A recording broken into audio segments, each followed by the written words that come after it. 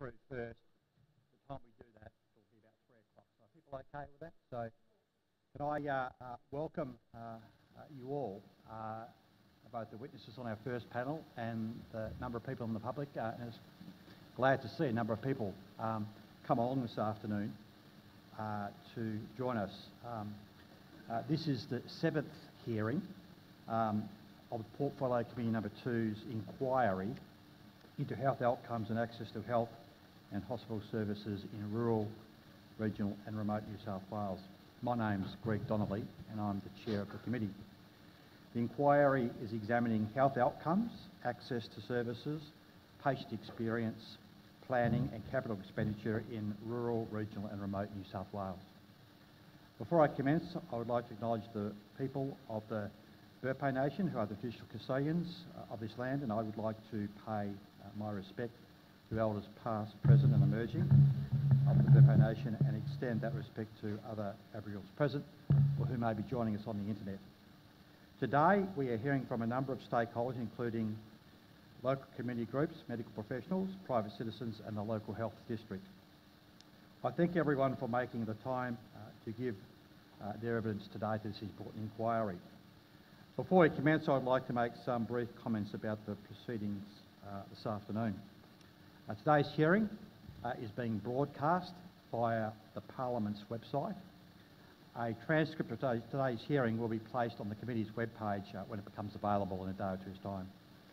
In accordance with broadcasting guidelines, media representatives, uh, and uh, I think some media representatives either here or about to join us, um, are reminded that they must take responsibility for what they publish about the committee's proceedings.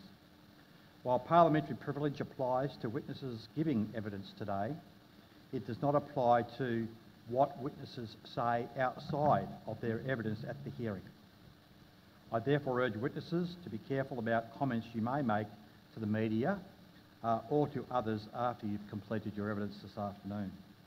Committee hearings are not intended to provide a forum for people to make adverse reflections about others under the protection of parliamentary privilege.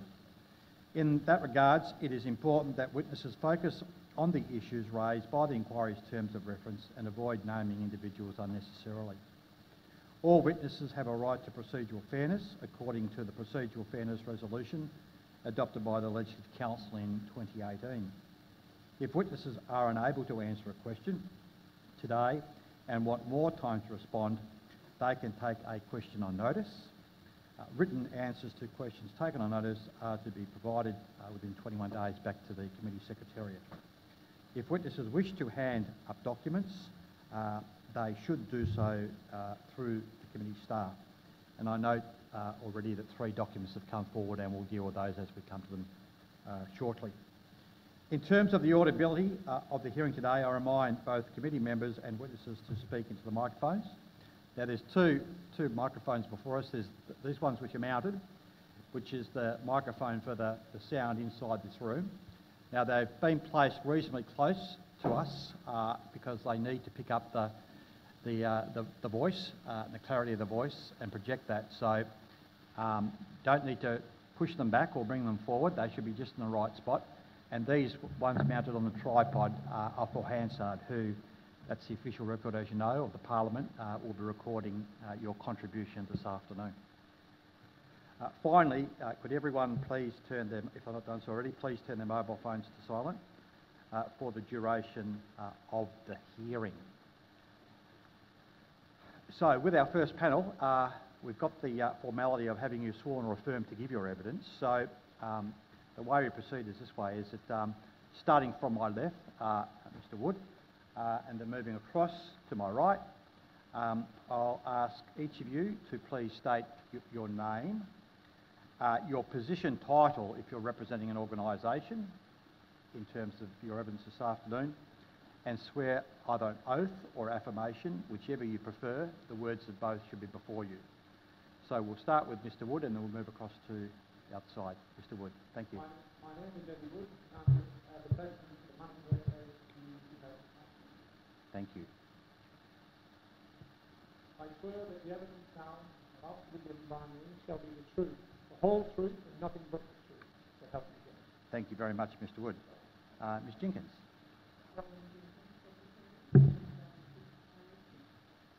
solemnly, sincerely, and truly declare and affirm that the evidence now about to be given by me shall be the truth, the whole truth, and nothing but the truth. Thank you very much.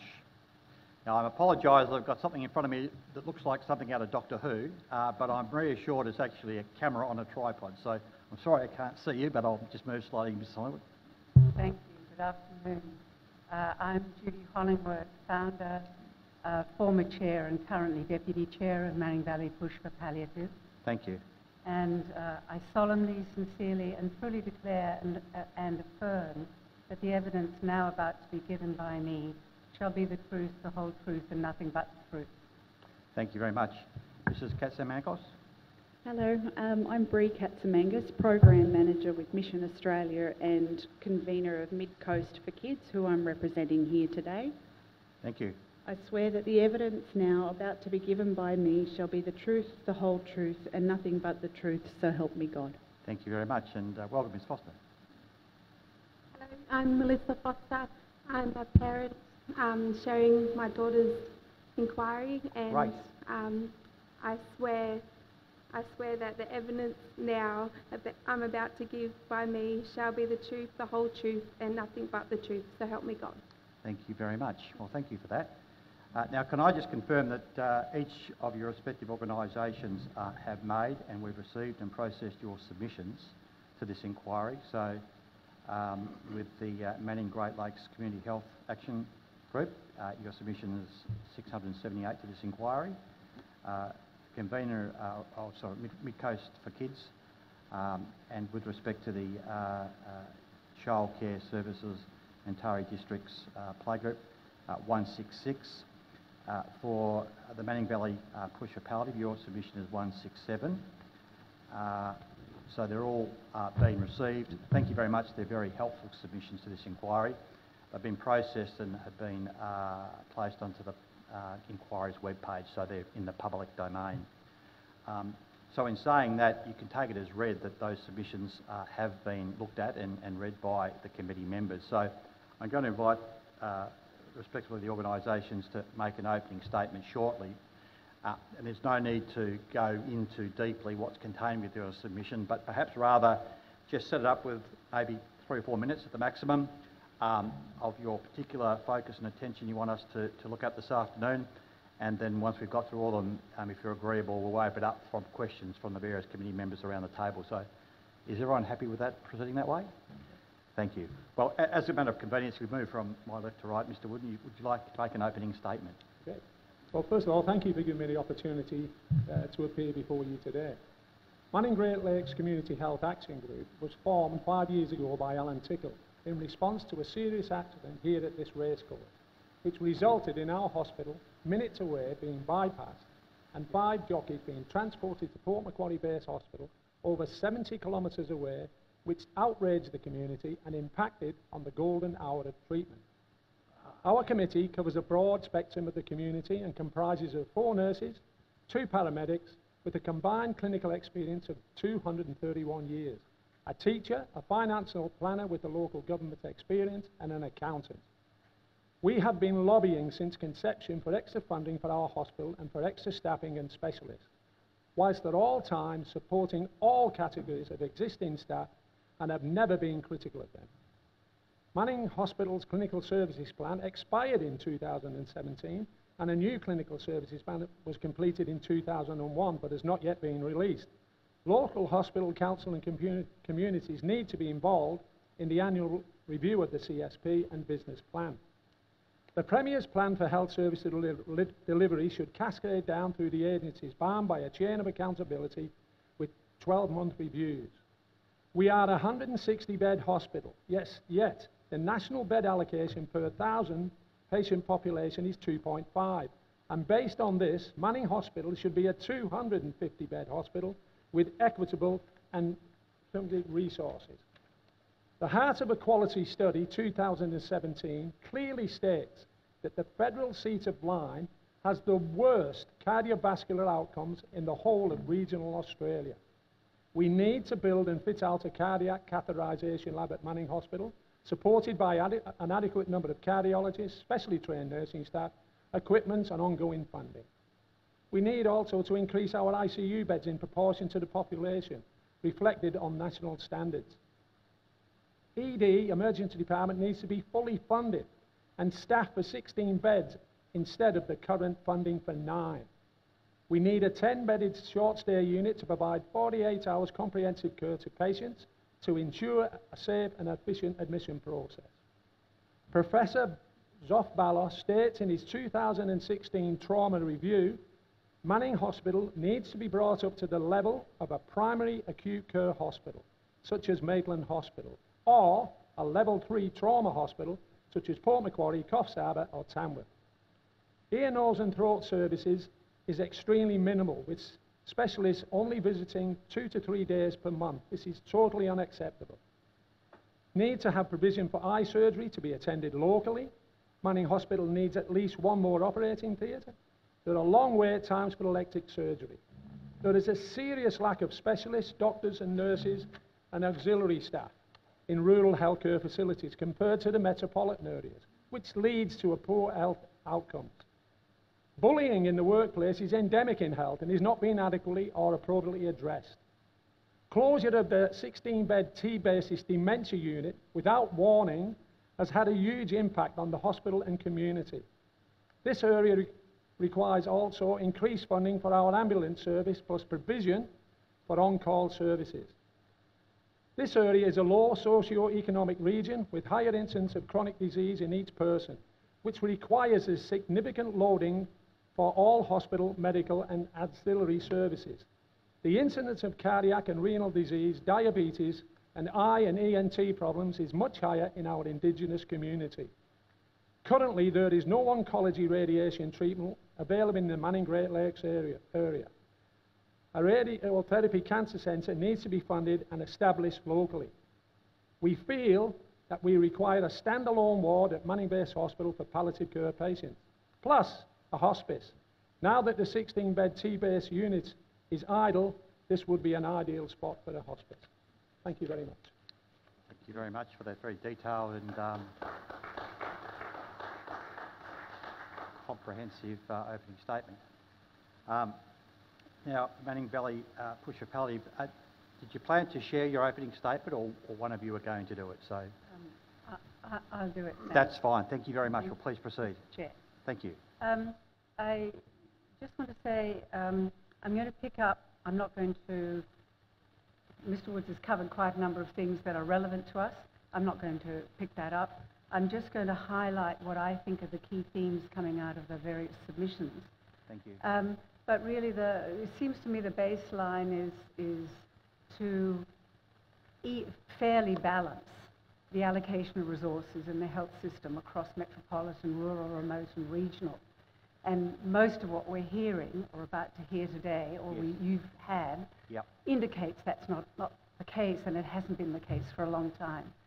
And so when you strip out local services and centralize things, the costs, centralize things, the cost for people like us goes way up and the health outcomes and the actual health services diminish. And also the expertise flees the area. So just some key points about these are statistics from local government um, information. Yep. Just to highlight, 95,000 people living in this area, we believe, at two, uh, Uh, 2021. And 53% of the population in 2016 was 50 years of age or older. So time has gone by since then. And health practitioners are now in the hospital and community health area estimating that about 60% of the people they see are in the 60 years and older bracket. And so you can predict what that means. It means people are, and this is one of the, this is the oldest electorate, I think, federally in the country, and certainly it's one of the oldest in the state. And um, so we anticipate that by 2026, about 24% of the population will be over 50 years of age.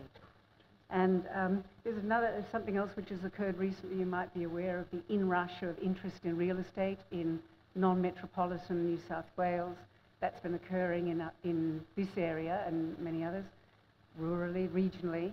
And that means that there's now an affordability issue coming up for people about housing and being able to access things and actually even find somewhere to live. So, so uh, the employment uh, indicators are 50% of the population in our area are not in the paid workforce, and that healthcare and social assistance sectors are the largest employers, which tells us some more about the profile and the demographic, demographic of the population. And given the health incidents and trends seem to be that given that 53% of the population is over 50 years old, the need for health services is already high and will continue to increase into the future. So we're expecting that. And so, the health, so is the health community. And you will know about our SEIFA index of disadvantage is 928, which places us at 107 out of um, 130 LGAs five years ago. Now, I've got, I've got a paper here which I, I would like to table, which I don't have time to go through, obviously. I want to make six points, though. Could you just, uh, Jennifer, is this the one that we've received or another one? We've actually received No, a single I page. just, these are my notes for today, like Mr Okay, Waters. no, no, yeah. okay, that's It's- fine. It's really thematic rather than No, that's fine. Just conscious of the time for the opening statement so that Okay. maximises our questioning opportunity. So if you could just, uh, if, if we're going to receive it because it's in writing, Yeah. uh, you can just uh, highlight perhaps the key Okay. points, yeah. So really, look, the main point is early access and intervention for our services and the other kinds already described make a whole lot of difference to affordable.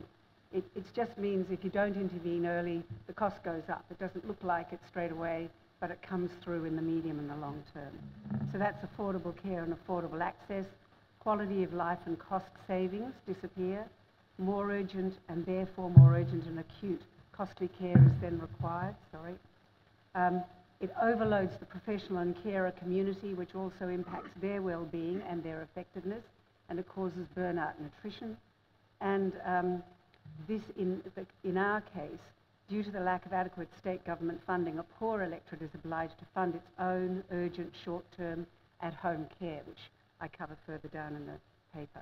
And this gap is filled by organi- organisations like us, which is fundraising for an alre- from an already impoverished community. So I'll leave it at that and just Thank you. submit the rest No, of the that, paper. that's lovely. That's, that's very good. Thank and you. we've got that document, uh, and perhaps the Secretariat might pick that up. Um, that will be helpful for us. So thank you for that, and I'm sure some questions will arise from that. So, Mrs. Katsmangos, would you like to make an opening statement? Thank you. Um, Melissa is here with me and she'll be sharing a personal story, but I'm, I will do the, the summary for Thank you. Mid Coast for Kids. Thank you. Uh, so just as a precursor to, to what I'll state is that um, we know that children who have a strong school transition do better across a whole range of domains um, than their peers that don't. So we are very much focused on um, early developmental screening and ensuring that all children have access to high quality, timely services when they need them prior to starting school. So on the Mid North Coast, one in three children are in the vulnerable young children group. The state average is one in five. On average, these children are estimated to cost the New South Wales Government $171,000 each for the key human services they will use up to the age of 40. This is 2.9 times higher than the New South Wales, for all New South Wales children aged 0 to 5. Midcoast for Kids has spent the last 12 months investigating the early developmental screening system on the Midcoast. Further to the recommendations outlined in the submission and in response to the issues highlighted, I'd like to make a couple of recommendations and I will table this document so that you have a copy of those. That would be appreciated. Yeah. We endorse the New South Wales Government's Brighter Beginnings initiative and through that the Government's commitment to give every child in New South Wales a strong start. We consider near universal before school screening provided by child and family health nurses through community health to be the gold standard when it comes to comprehensively assessing and responding to children's early developmental health needs. We call for greater capacity and flexibility in child and family health services and how they are delivered. That is, integration of services into early childhood centres and integrated service hubs. We call for the reinstatement of the Medicare benefit for the preschool, the preschool Healthy Kids Check, including the nurse item number previously 10986. With evidence that children are not accessing the three and four year health check in sufficient numbers, it is vital that GP services are incentivised to promote and provide this service. Further, the primary health network should play a key role in providing training and development to GPs and general practice nurses in the delivery of health assessments to children. We endorse the First Steps Count Child and Community Centre to be established in Taree in 2022. Stage 1 construction has been jointly funded by the state government and philanthropic contribution. To meet demand, we call for state government investment in Stage 2 to ensure the full suite of early childhood, maternal, child health and family support services can be provided through the centre. We endorse and call for an extension of the Connected Beginnings program in communities where disproportionate numbers of children are vulnerable. The Connected Beginnings program is an integrated early childhood, maternal and child health and family support service operating in schools and selected communities, providing greater access to these respective services for Aboriginal and Torres Strait Islander children. We call on the state government to invest in research on child and family health service hubs. Specifically, we refer you to the University of New South Wales First 2000 Days Kids Connect research program. Following the pilot of an integrated health and social care hub in Rockdale, the university now seek to evaluate the impact and social return on investment of integrated child and family health service hubs in optimising the early identification of developmental vulnerability and supporting unmet psychosocial needs of preschool aged children and their families living in disadvantaged urban and rural communities. We see this research as vital in insisting the state government to make evidence based decisions on how to most effectively co- coordinate and deliver child and family health services to vulnerable communities. We call for increased capacity in Hunter New England Local Health District funded services to implement strategies outlined in the New South Wales First 2000 Days Health Framework. This is essential if Brighter Beginnings is serious in its objective to co design opportunities for improved service delivery in ways that best meet needs of children. We call for additional state government investment in Regional Development Australia to facilitate the development of a workforce development strategy for allied health services on the mid coast. This strategy should take into account current and forecasted demand, not just for child and family health services, but aged care, disability, and mental health services.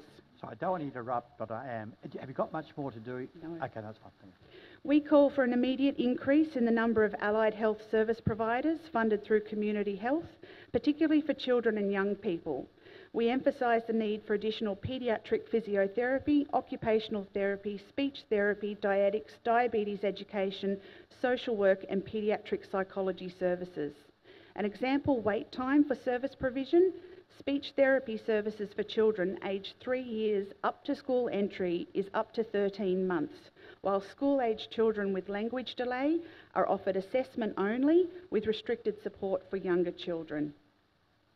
We also call for increased permanency for advertised positions through Hunter New England local health districts for nursing and allied health positions as a key strategy to attract and retain allied health and other medical professionals. We call for greater transparency in public funding arrangements for specialist ENT services. And finally, we recommend urgent state government investment in publicly funded specialist ENT services for children that includes capacity for timely assessment and surgical intervention delivered locally. This should include access to emergency on call ENT services. Thank you. Thank you very much for a very comprehensive statement. Thank you. Uh, Ms Foster, do you have a opening statement? Yes. So, Can I, can I just ask, how long is that? Because I'm just conscious that we've got, the time. Um, I'm sharing my daughter's story. It's, um, it's in large writing. but- okay, no, no, and- okay, well, pl- please proceed. I'm But I just can trying to make sure, no, no, no, that's fine. Okay. Please Um, proceed. So thank you, honourable members of the, to share my opportunity. Um, sorry, can I start again? thank you. hon- Sorry, I'm very nervous. Um, thank you, honourable members of for this opportunity to share my daughter's story. My daughter, who's nine year, years old, had many complications with her hearing since the age of two. It was discovered in 2015 at age two and a half when she attended preschool, where they had um, hearing checks by a Biripi health worker. It showed Melinda had glue ear and to seek um, medical treatment. Melinda struggled with continual sinus congestion and was concerned and I was concerned and confused of what to do and how to help. When my older daughter was getting her before school screening assessment, I, I expressed my concern to the audiologist um, if they could have a look at my younger daughter's hearing, um, which led in an assessment on the spot. The audiogram showed that Melinda had moderate hearing loss and um, glue ear in both ears. Um, I got a referral to see the ENT, which added her to the waiting list to see the ENT and John Hunter. I got a referral. Um, while waiting to be contacted, I was concerned of the hearing getting worse as it took a long time. Um, and I asked my local GP to provide a referral to see the Mayo Hospital for a private ENT um, doctor. And as I was a young mum, I didn't have the funds and um, didn't have any savings, and I knew it would be costly. But in the lead up of uh, waiting for that appointment, I was contacted by the um, private, contacted by John Hunter to get um, my daughter's ad- adenoids removed and grommets inserted. Um, only gaining my license, I was nervous to travel to Newcastle, and I had to leave at 6 a.m. and organise care for my oldest daughter. The doctors were very kind and helped made Melinda feel comfortable. After her grommets fell out in 2017, her hearing problems started again and her, she got glue ear again and had ongoing appointments with Hearing Australia. Um, and we were added to the ENT wait list again. In 2018, Melinda was in year one, aged eight, or aged six, sorry. Um, I was contacted by Maitland Hospital where she was due to booked in to get another set of grommets. Melinda attended the learning centre at school as she was falling behind as she wasn't um, hearing and showing delays in um, sound blending and reading. In 2020, Melinda had another hearing assessment which showed that she had um, glue ear again and moderate hearing loss, and the hearing would fluctuate. So some days were good and some days were, were worse. Um, in 2001, we were added to the waiting list again, where Melinda had to have her adenoids removed again and her grommets inserted. So, as so they, that was 2021. uh, yes, this Yep, year yep, she just got. She's had three sets. No, that's okay. Um, and most recent event on the 1st of May, Melinda got her ear putty stuck in her ears, um, in one of her ears, and it attached to her eardrum and her grommet. And um, as she puts the ear putty to keep her ears dry for having a bath, I rang John Hunter for advice of what to do, and I was advised to go to Taree Hospital. And I waited for hours with my daughter. Um, she was very nervous of what to do and how they were going to get it out. Once we had seen the doctor, he tried to remove the ear putty and it was just breaking apart. It, um, he was not sure what to do and we were refer- referred to John Hunter um, with a letter explaining that we were just recently at Taree Hospital. We, uh, we left early in the morning and arrived at 8am at John Hunter in Newcastle where we, see, we seen reception and we were placed in the queue to see a triage nurse. Taree Hospital did not advise John Hunter of our arrival, and the ENT services were disappointed that we were being sent down there without, um, with, with a hope to see an ENT. Melinda was feeling uncomfortable, scared, tired, and hungry, which made the situation hard. The nursing team in Newcastle were, com- were wonderful and organised the ENT to come down to have a look. They came up with a plan to get the ear putty out. The ENT specialist was able to remove the emerg- in the emergency area under light sedation and had all the right equipment to remove the ear putty, and her grommet was still intact. It would be great if we had, um, it would be great if our area were, were able to give this type of support to be able to contact an ENT specialist in time of need and emergency. The benefit of having an on-call ENT specialist available in our area would reduce waiting times, travelling costs, provide support and reassurance to many families. Thank you, Mel. Well, thank you. Well, well, thank you, Ms Foster, for coming along in the first instance, and thank you for sharing that very personal family example with us. That's very good. Now, we've got um, approximately about seven and a half minutes or so for each group uh, around the table. So, we, so yeah, so um, we have opposition, crossbench, and government members. But for me to explain that, we'll take another two minutes, which will cut off what uh, what time, little time we have. So, if we just start with uh, opposition, Honourable Secord. Thank you, Mr. Chair. And thank you for, for coming today, everyone.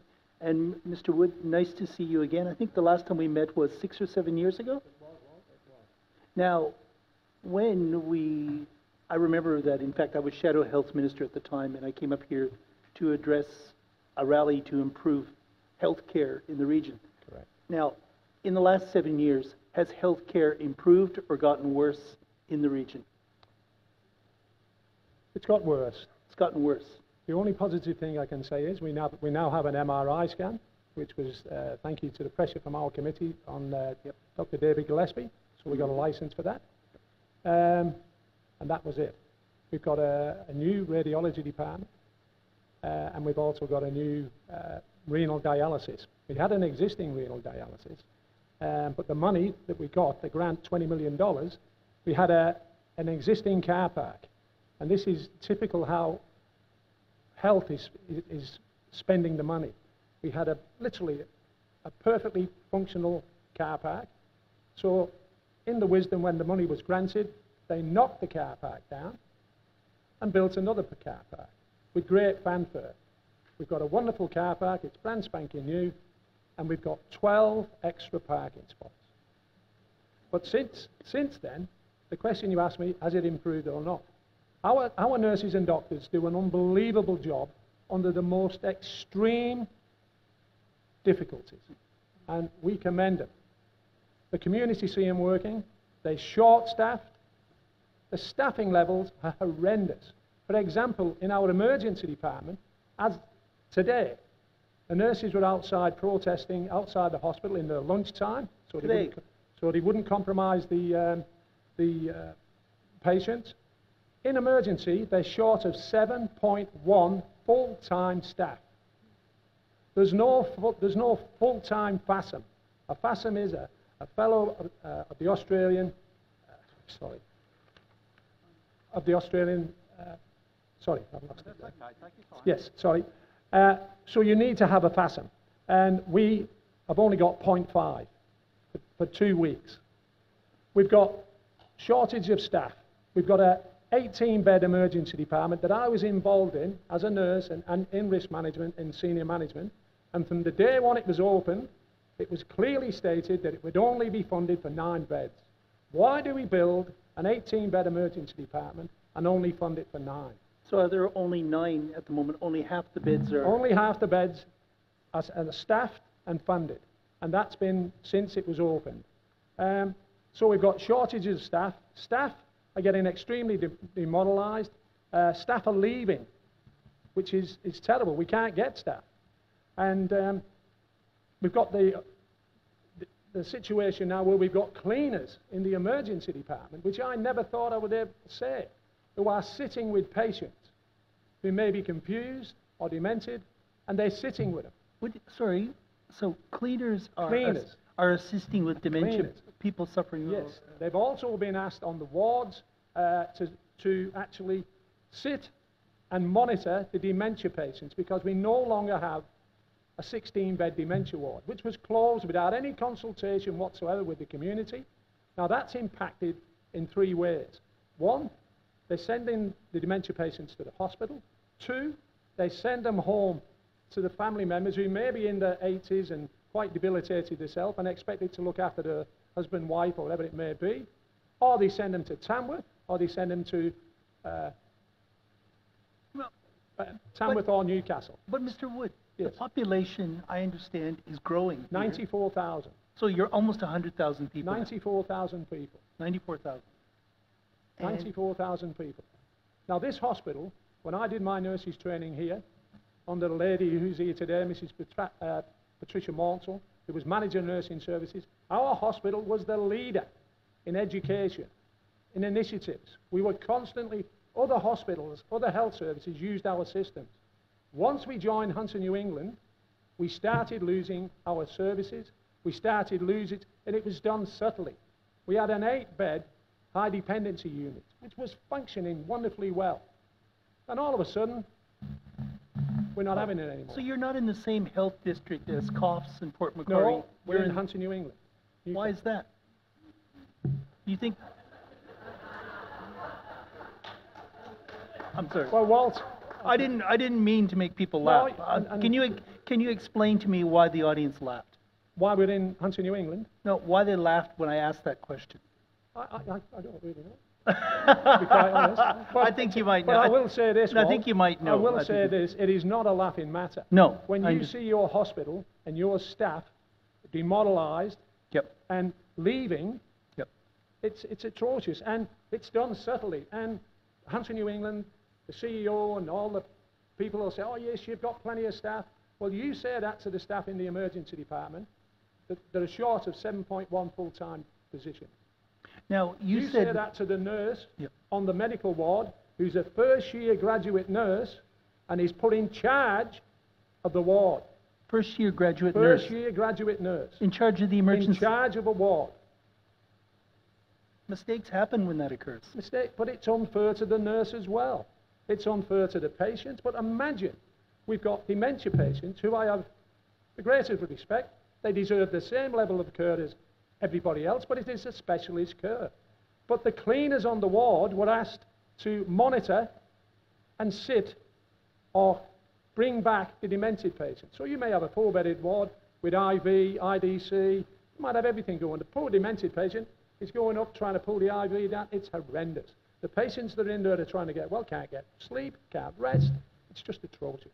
Now, Mr. Wood, you also mentioned in your opening statement that Manning Base and the region here has the worst cardiovascular rates in regional Australia. Correct. Why is that? Because we haven't got a cardiac, la- uh, ca- cardiac lab. We've only got one cardiologist, and he's been For pushing- 100,000 people. He's been pushing for a cardiac lab for years and years and years. There's one set up at the Mayo Private Hospital, but it's not a non-functioning one. And he, the, uh, the cardiologist has actually pro- approached the head of Hunter New England and said, well, why don't we set it up? Why don't we set it up uh, so that we can work with the private hospital and partly fund it with the public? But we are in dire straits here regarding staffing, and it's, it's, it's horrendous. And if I can just give you this one example, I'm sorry, I know No, you. no, no, no. No, I know that's you're okay. busy, We just got to share it around, that's all right. No, please, Mr. but we had a 34-year-old young lady come to our hospital. She's a qualified paramedic and a qualified registered nurse. Now, our emergency department is 7.1 short. She asked for a, a full-time position. No, we can't give you a full-time position. We can only give you a casual. Now, this lady wants to buy a house, wants to settle down here. We wouldn't offer her a full-time position. We'll give you casual. Well, so we've lost her. She's now actually, which is really sad, has gone completely out of health and is working in a medical centre in Port Macquarie doing Botox. So she would have been ideal for our emergency department. So we, you know, we, we're losing our staff, and if I could put it in a, in a simple analogy, is this. Once upon a time at our hospital, we had a beach ball like that, full of experienced staff. Now, we've got an orange.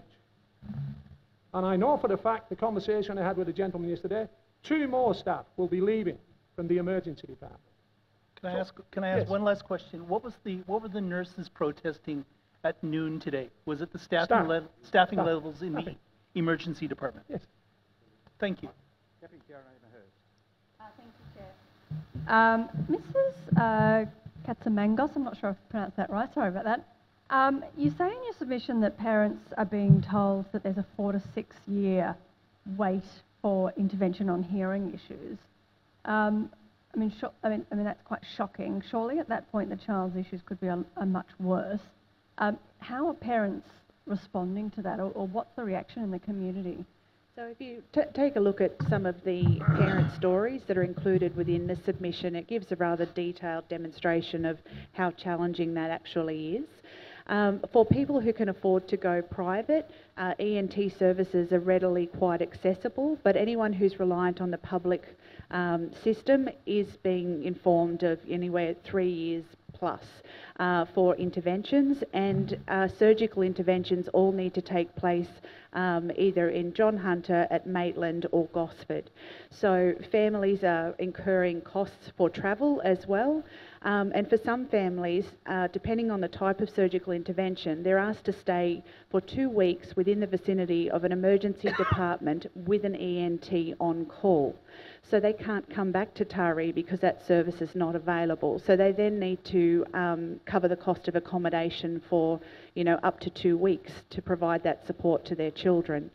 So on average, you know, parents seem to be incurring debts of anywhere between four and a half thousand to one of our families anticipating approximately twenty thousand, um, because their second child has been identified to have issues as well, and it's also linked to orthodontic work that will be required.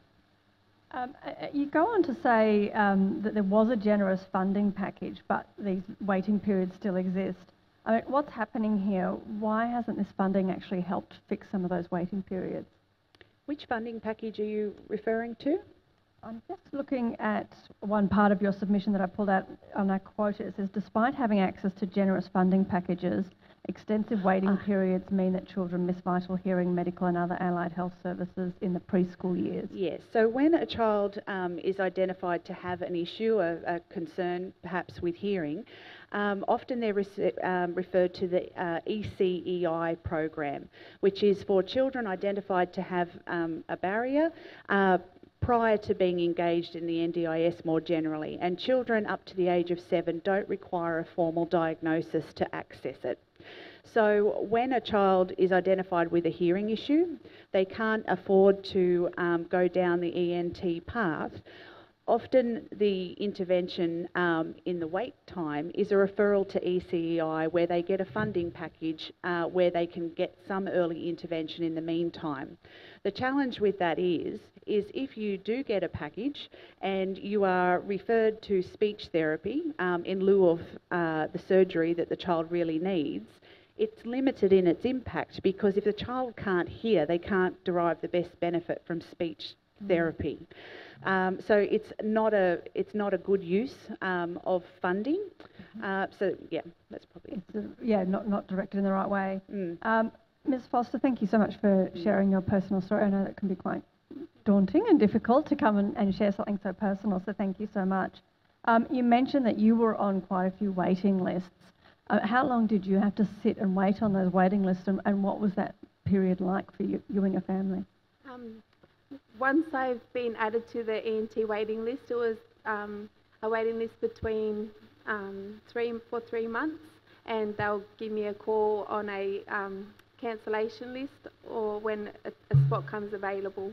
Um, and then, like one time, I only had to wait two weeks, but then um, the first time was I had to wait almost the whole three months, where her hearing was very um, bad and she was falling behind in class.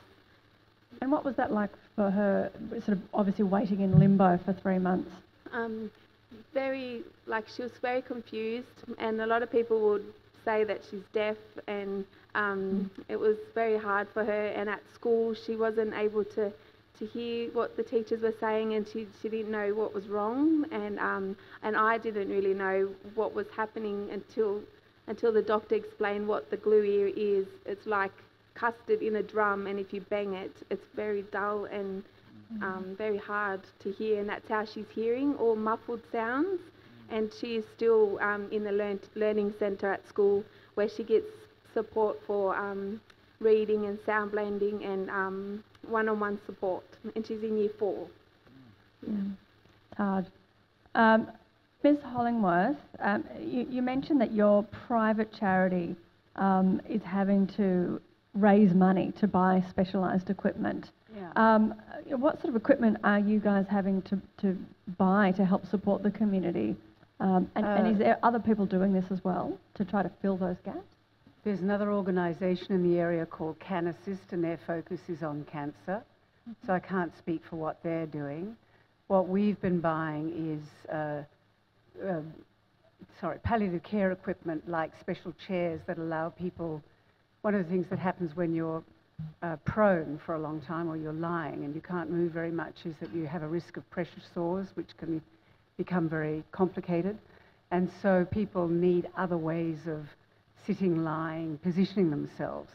So we've bought 12 special chairs for the hospital. So everything that we've fundraised for, we've put into the local Hunter New England Health Taree equipment service. So it's like a, a lending library of equipment and some of that goes into the hospital and some of it goes into people's homes as needed, and that's determined by the nursing personnel or the, the palliative care specialist personnel who are looking after the patients and saying they need this, and if they had this, they could go home rather than stay in hospital. So, so, so some of them are Roho cushions, you know, those honeycomb cushions mm-hmm. that mm-hmm. help li- lift the person off hard surfaces. Uh, we've done chairs, we've done lifters, we've, you know, it's a, it's a, a range of things. Something about $75,000 worth of equipment over time. And, and, and why we do that is that mm. you can't get the funding out of the government system fast enough for the people to have the equipment. So that also occurs with when we pay for people to have personal care services at home, the person will die before they get the help. Mm. So uh, and for a community to have to, to, to, fund its own palliative care or other types of care, transport or whatever it is, it, it's, it just, it's very difficult and not everybody can have that level of care. And you said that you're also fundraising from an already impoverished community, yeah. so there's obviously an upper limit to what you can even achieve if, yeah. if, there's gaps happening. And of course, in the last year or so, in fact, in the last two years, we've had bushfires, COVID, floods. So the, the capacity of the community to actually contribute anything is very.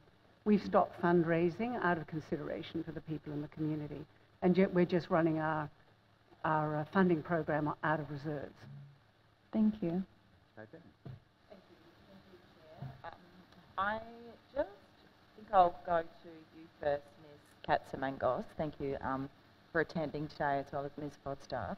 Just I must admit, reading the uh, submission from your organisation, it was pretty shocking to think that here in New South Wales, in the public health system, we have children seriously waiting between four and six years to be able to get a tonsillectomy. Is that not at oh, surgery. Well, not, no, it's usually ENT related. So we're looking at things like um, grommets and adenoids and that type and of sur surgical intervention. Some of the some of the submissions, some of the case studies that you said as well, in terms of kids who are clearly having extreme difficulties with hearing, having to wait three years or more. Mm. So you also say in your submission you point out the New South Wales government's goal, if you like, in terms of brighter beginnings. Yeah. You say that the government is saying that they want to make sure children are developmentally on track. They're committed to giving every child in New South Wales the best start in life, and they want to make sure that children can participate in terms of, you know, having lifetime health education and social and economic benefits that schools can bring. Mm. Do you think the government in this area is doing that for the children of Manning Great Lakes? No. Compared to the rest of New South Wales, do you feel like you're being left behind? Do you feel like you're being treated as second class citizens? Um, I don't, I don't think I'd go to saying second class citizens, but I would. It really is a question about accessibility. So it's about children being able to access the services they need in, in a location in which they're comfortable to do so in a manner that is timely and that any intervention that is required can be delivered locally and is affordable. And that is not happening at the moment. So, as I've said in my in my submission, you know there are areas, um, there are examples of great service delivery, but overall the, the system is fragmented. We support um, the, the government's Brighter Beginnings initiative. We support the first 2,000 days uh, health framework. Um, but generally, our conclusion is that while the principles are good, the resources are not behind it, which makes it incredibly challenging. So, for us, when we want to work with our local hospital, with our local healthcare providers to form the types of partnerships that they want us to form in order to deliver better services, there's not enough flexibility within the staffing to enable that to occur. We need people within the hospital to be able to come into the community services sector to help us identify and name the problem, to help us form solutions, but the flexibility is not there. So we really we sit on the sidelines trying to pull the bits of information that we need, and it takes far too long. Um, so we need greater capacity in the health system itself to be able to develop the kind of partnerships that the government says that it wants. With um, you're talking about partnerships, but with something like parents being currently advised of wait times anywhere between four and six years, Mm. that really comes down to funding within the public health system, doesn't it? If With we've that got particular children, issue, yes. yes, Yes. children and parents who have private health who can afford to Yeah. to, to go down that path, that's fine for them. But you are specifically highlighting the people who can't afford the private health system as much, and the public health system is is three to four to five years. Yes, yes, and Mel's um, experience is reflective of the fact that Aboriginal and Torres Strait Islander children are actually better off in this area in terms of accessing ENT services. They have a visiting ENT around every six weeks to the Biripi Aboriginal um, Medical Corporation, and but if they need surgical intervention, they still need to travel. So that that issue remains. Thank you. Um, Ms Hollingsworth, thank you for the great work that your organisation has done um, and all of the members of your organisation for doing so much fundraising uh, and filling a obviously a much needed um, gap. What would be happening to the uh, patients in um, this area if your organisation was not able to raise the funds and provide the services and resources that you have been able to provide? Uh, in some cases, just to go back to the question about equipment, I was just remembering that we've bought mini oxygen concentrators, for example, and supplied them, put them into. So that means that somebody can actually go out of a hospital for a while or go home and have breathing support. They're not, don't have to be attached to stationary equipment all the time. So what would be happening is that people would just be living it harder. So the people at home who care for them uh, have more um, burdensome work to do. You've got somebody who can't breathe at home, or you can't you can't manage to shower or do the home care yourself.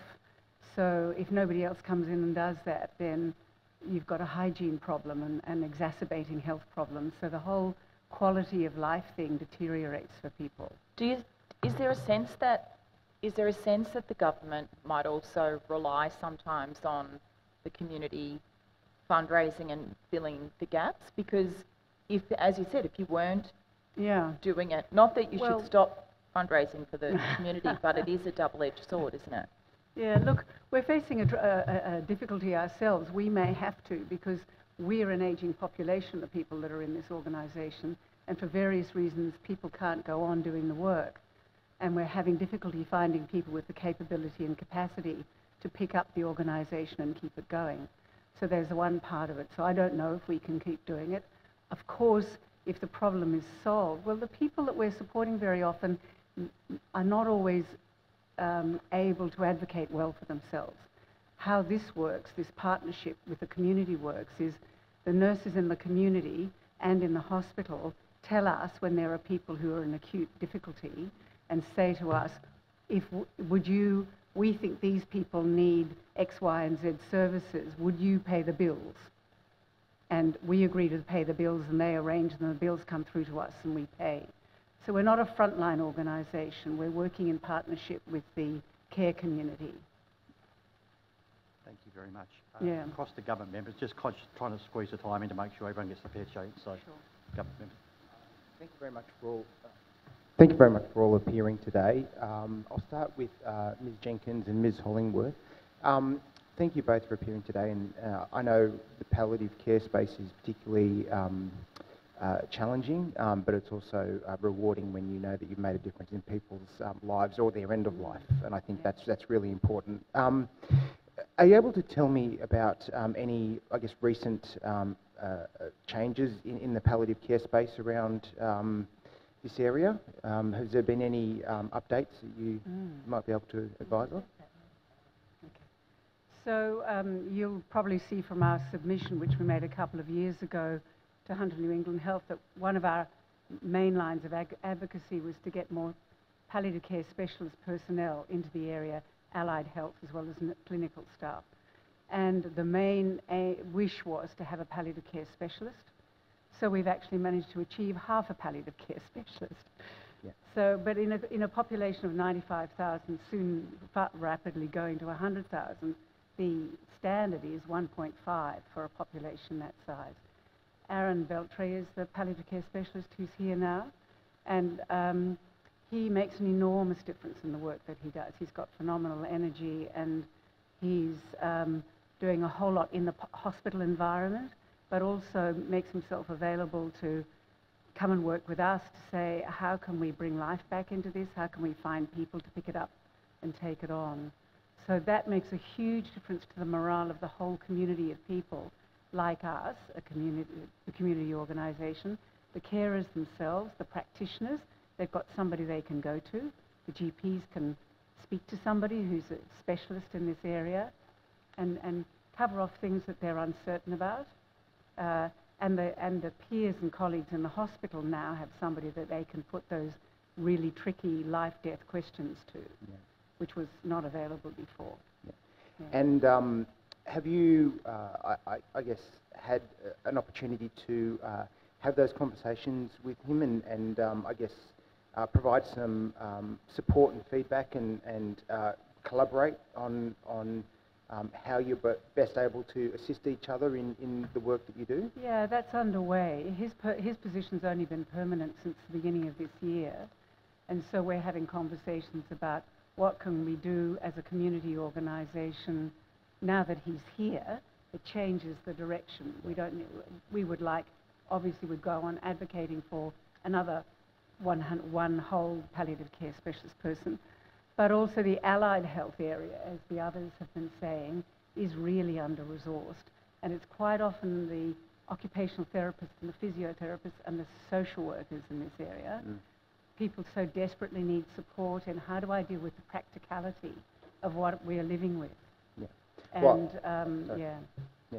Yeah. I just wanted to say, um, you know, well done on, on your advocacy, and, and you know, I know Thank that, um, that that he's going to make a, a, you know a huge difference in in, in uh, this area. So well, well done for that. Thank you uh, Mr. Wood, I just wanted to um, uh, turn to you quickly. Now, um, looking at the uh, the questioning that the Honourable Walt Secord um, put to you around um, the, I guess the structure of the, the health network here and, and the fact that you are with Hunter New England, um, can you just talk me through what you see as some of the difficulties in being involved with the Hunter New England network? Most definitely. Um, since we joined Hunter New England, our hospital started to, first of all, lost its identity. Yep. Then we started losing funding. Mm-hmm. We were treated, how can I put it, as the small hospital. Yep. Got Port Macquarie, and then you've got John Hunter. Yep. Um, we as a base hospital used to deal with trauma, mm-hmm. and what we couldn't handle, we'd fly out by helicopter or by ambulance. Mm-hmm. Each year, since we've been with Hunter New, uh, Hunter New England, the services have diminished. Right. There's been increasing pressure, and this is a, a real factor. There's been in, increasing pressure from senior management, and I'm sure that the government put pressure on the senior management that's passed all the way down through to general managers, managers of nursing services, managers of non-clinical services, to cut costs. And that's constant. I worked with a manager, a general manager at Manning Base Hospital for 10 years. He was excellent. And this is a, an example. He came to us one day and he said, I've been asked to cut the cost by 15%. percent mm -hmm. The following year, he said, I've got to cut costs by, he said, I can't do it. Now, we had that general manager for 10 years, and in the end, he left. He said, I just can't do it. And that impacts on everything. It impacts on the infrastructure of the hospital. It impacts on the education programs of the hospital. It, it impacts on how we attract specialists and nurses to come to our hospital not only to come to our hospital, but to keep them. And we have an enormous problem. For example, we got five FACEMs in our emergency department. Yep. They only lasted a short time. Once better positions come up somewhere else, they left. They felt they weren't supported. I, I know we're running out of time and that, that obviously we've No, no, got, no, um, no, no. but I just wanted to ask a couple more questions. Yes. Um, uh, so, so you, you don't feel that it was appropriate that, that, that Taree was put in with, um, Hunter New England? Is that sort of wh- where I guess you're, Well, we treated differently, completely different. We had all our systems, and it was, well, we, this is how we do it in Newcastle. and, sorry, can I just ask, when you said the general manager had done it for, you know, about a decade, I think, so do you know, when, when was the, the, the, when was Taree incorporated with Hunter About 15 England? years ago, we went to... Oh, 15 years ago? Yeah, about Oh, okay, 15 so years ago. It, Yes. it was quite a while ago. Yes, it was. Oh, and okay. each year it's diminished. Right, okay. Yeah. Um, so you'd be advocating for then, uh, I guess, a a change to the to the system, like the, the way that um, that you're allocated to it. uh, You'd be looking to be allocated to a different um, network. Is that what you'd be looking to do, or? Is that what we feel as a community we'd like? W- Yeah, I'm, I'm just trying to gauge what it is that you feel the solution is because um, Well, obviously we, we write recommendations to, Yes. a- and so what is it that, that you think is the appropriate fix for this? well, if we, if we did go, say for instance, to the Mid-North Coast, which Yep. is Coffs Harbour, and I used to service all those hospitals, Yep. we'd have to go with fair equity to be treated responsibly and treated as a hospital that we are, but to bring us up to an acute care level. Now, Yep. Professor Balogh clearly stated that this hospital, who is highly respected, Austra- not only here, in- but Australia-wide, that our hospital should be brought up to an acute care standard Yep. and funded and staffed at that level. We're not now. Okay. We're not. And so, you know, the community expect, they don't expect five-star treatment, but they're entitled to have fair treatment. And Yeah. the young lady at the end, when she talked about a, a, a son with a, a ear problems, Yeah.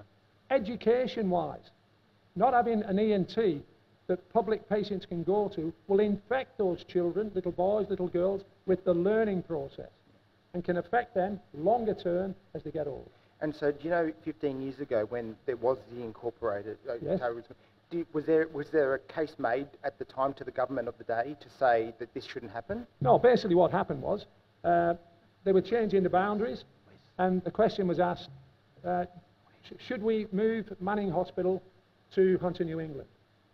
And one of our orthopaedic surgeons said it'd be wonderful if we went with Hunter, New England, Mhm. because then we could have access to the specialists in John Hunter, Mhm. and that carried a lot of weight, and we went across. Right. Thanks very much. Thank you. Well, listen, I've given a bit of latitude because of the... Uh, Sorry? she- she- I've given a bit of latitude with the time because of the quality of the evidence from yourselves. It's been very, very good evidence, but unfortunately we will have to draw a line under it. Um, now, I think um, there, Ms Collingwood, there was a, a, a document that was going to be an additional document we're going to provide to us, is that? Um, So, if the secretary could, um, if they've not obtained that, obtain that. And I'm wondering, Ms Foster, with your opening statement, would we be able to get a copy of that because we'll give it to Hansard and that will help them with the transcription. Uh, and to just confirm, before we got underway, um, I've got a single-page document which has got Manning Valley uh, push for palliative. Uh, I've got a copy of that. Um, Mr Wood, I've got a, a rather detailed document, I think, standing in your name, which we'll have access to. And Mid-Coast uh, uh, for Kids, we've got a further document from yourselves. So from your original submissions to your very quality contributions today through your oral evidence and the additional material you provided, you've given us a, a wealth of information. I'm sure will enrich our inquiry very much. So thank you all very much. And uh, we'll move on to the next uh, group of witnesses. Thank you. Thank you. Is it possible for me to just say one thing, please? I know you're busy. Uh, I'm sorry about this, but we've gone through floods, drought, floods, COVID, and now Yep. we're in a situation where our health service is in crisis. Right. There's no two ways about it. No matter which way you look at it, we're in a crisis situation, irrespective of what the politicians say or the health service say, we are in a crisis situation. Thank you very much. Thank you, uh, Mr. Thank you. Thank you. Thank, thank you to all the witnesses. Um, we've got our next panel, um, Dr. Roberts, uh, Dr. Holliday, and uh, Dr. Narashaham. So, thank you. yes. So we'll pull this back in as much as we can. Just uh, try to. So So you want me opening statement? where are we? So it's just gone four, so,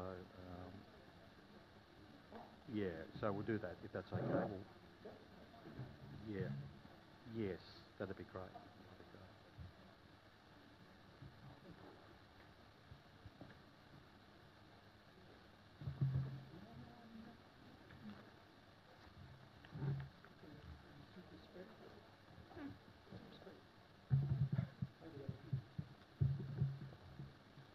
Thank you. So-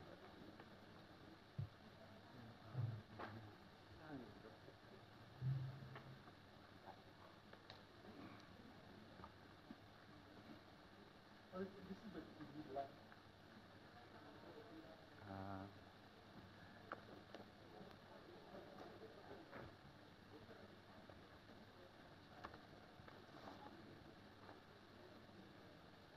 okay.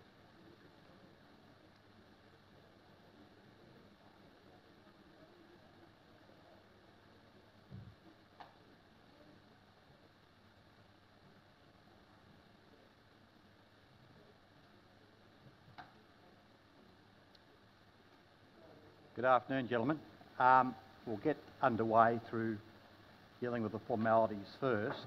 Um, so what I'll do is, um, from my left, uh, Dr. Roberts, uh, get, get each of you to identify yourself by name, uh, your, your position title, if you are representing an organisation today, if you're appearing in your capacity as a, as a private citizen, that should be separately identified, uh, and then take either the oath or the affirmation, affirmation, whichever you prefer, the words of both uh, ought to be before you. So, starting with Dr. Roberts. Uh, My name is Nigel Roberts. I'm um, here as a private individual, but I am Director of Obstetrics and Gynecology at Manning Hospital. And I swear that the evidence now about to be given by me shall be the truth, the whole truth, and nothing but the truth, so help me God. Thank you very much. Um, Dr. Holliday. And once again, apologies for not having the line of sight. I've got this uh, machine in the middle, so yeah. My name's Simon Holliday. Thank you. Uh, I've been a doctor in this area for 25 years. I swear that the evidence now about to be given by me shall be the truth, the whole truth, and nothing but the truth, so help me God. Thank you very much. And Dr. Narashnaham. Is that pronounced, is that pronounced correct, Doctor?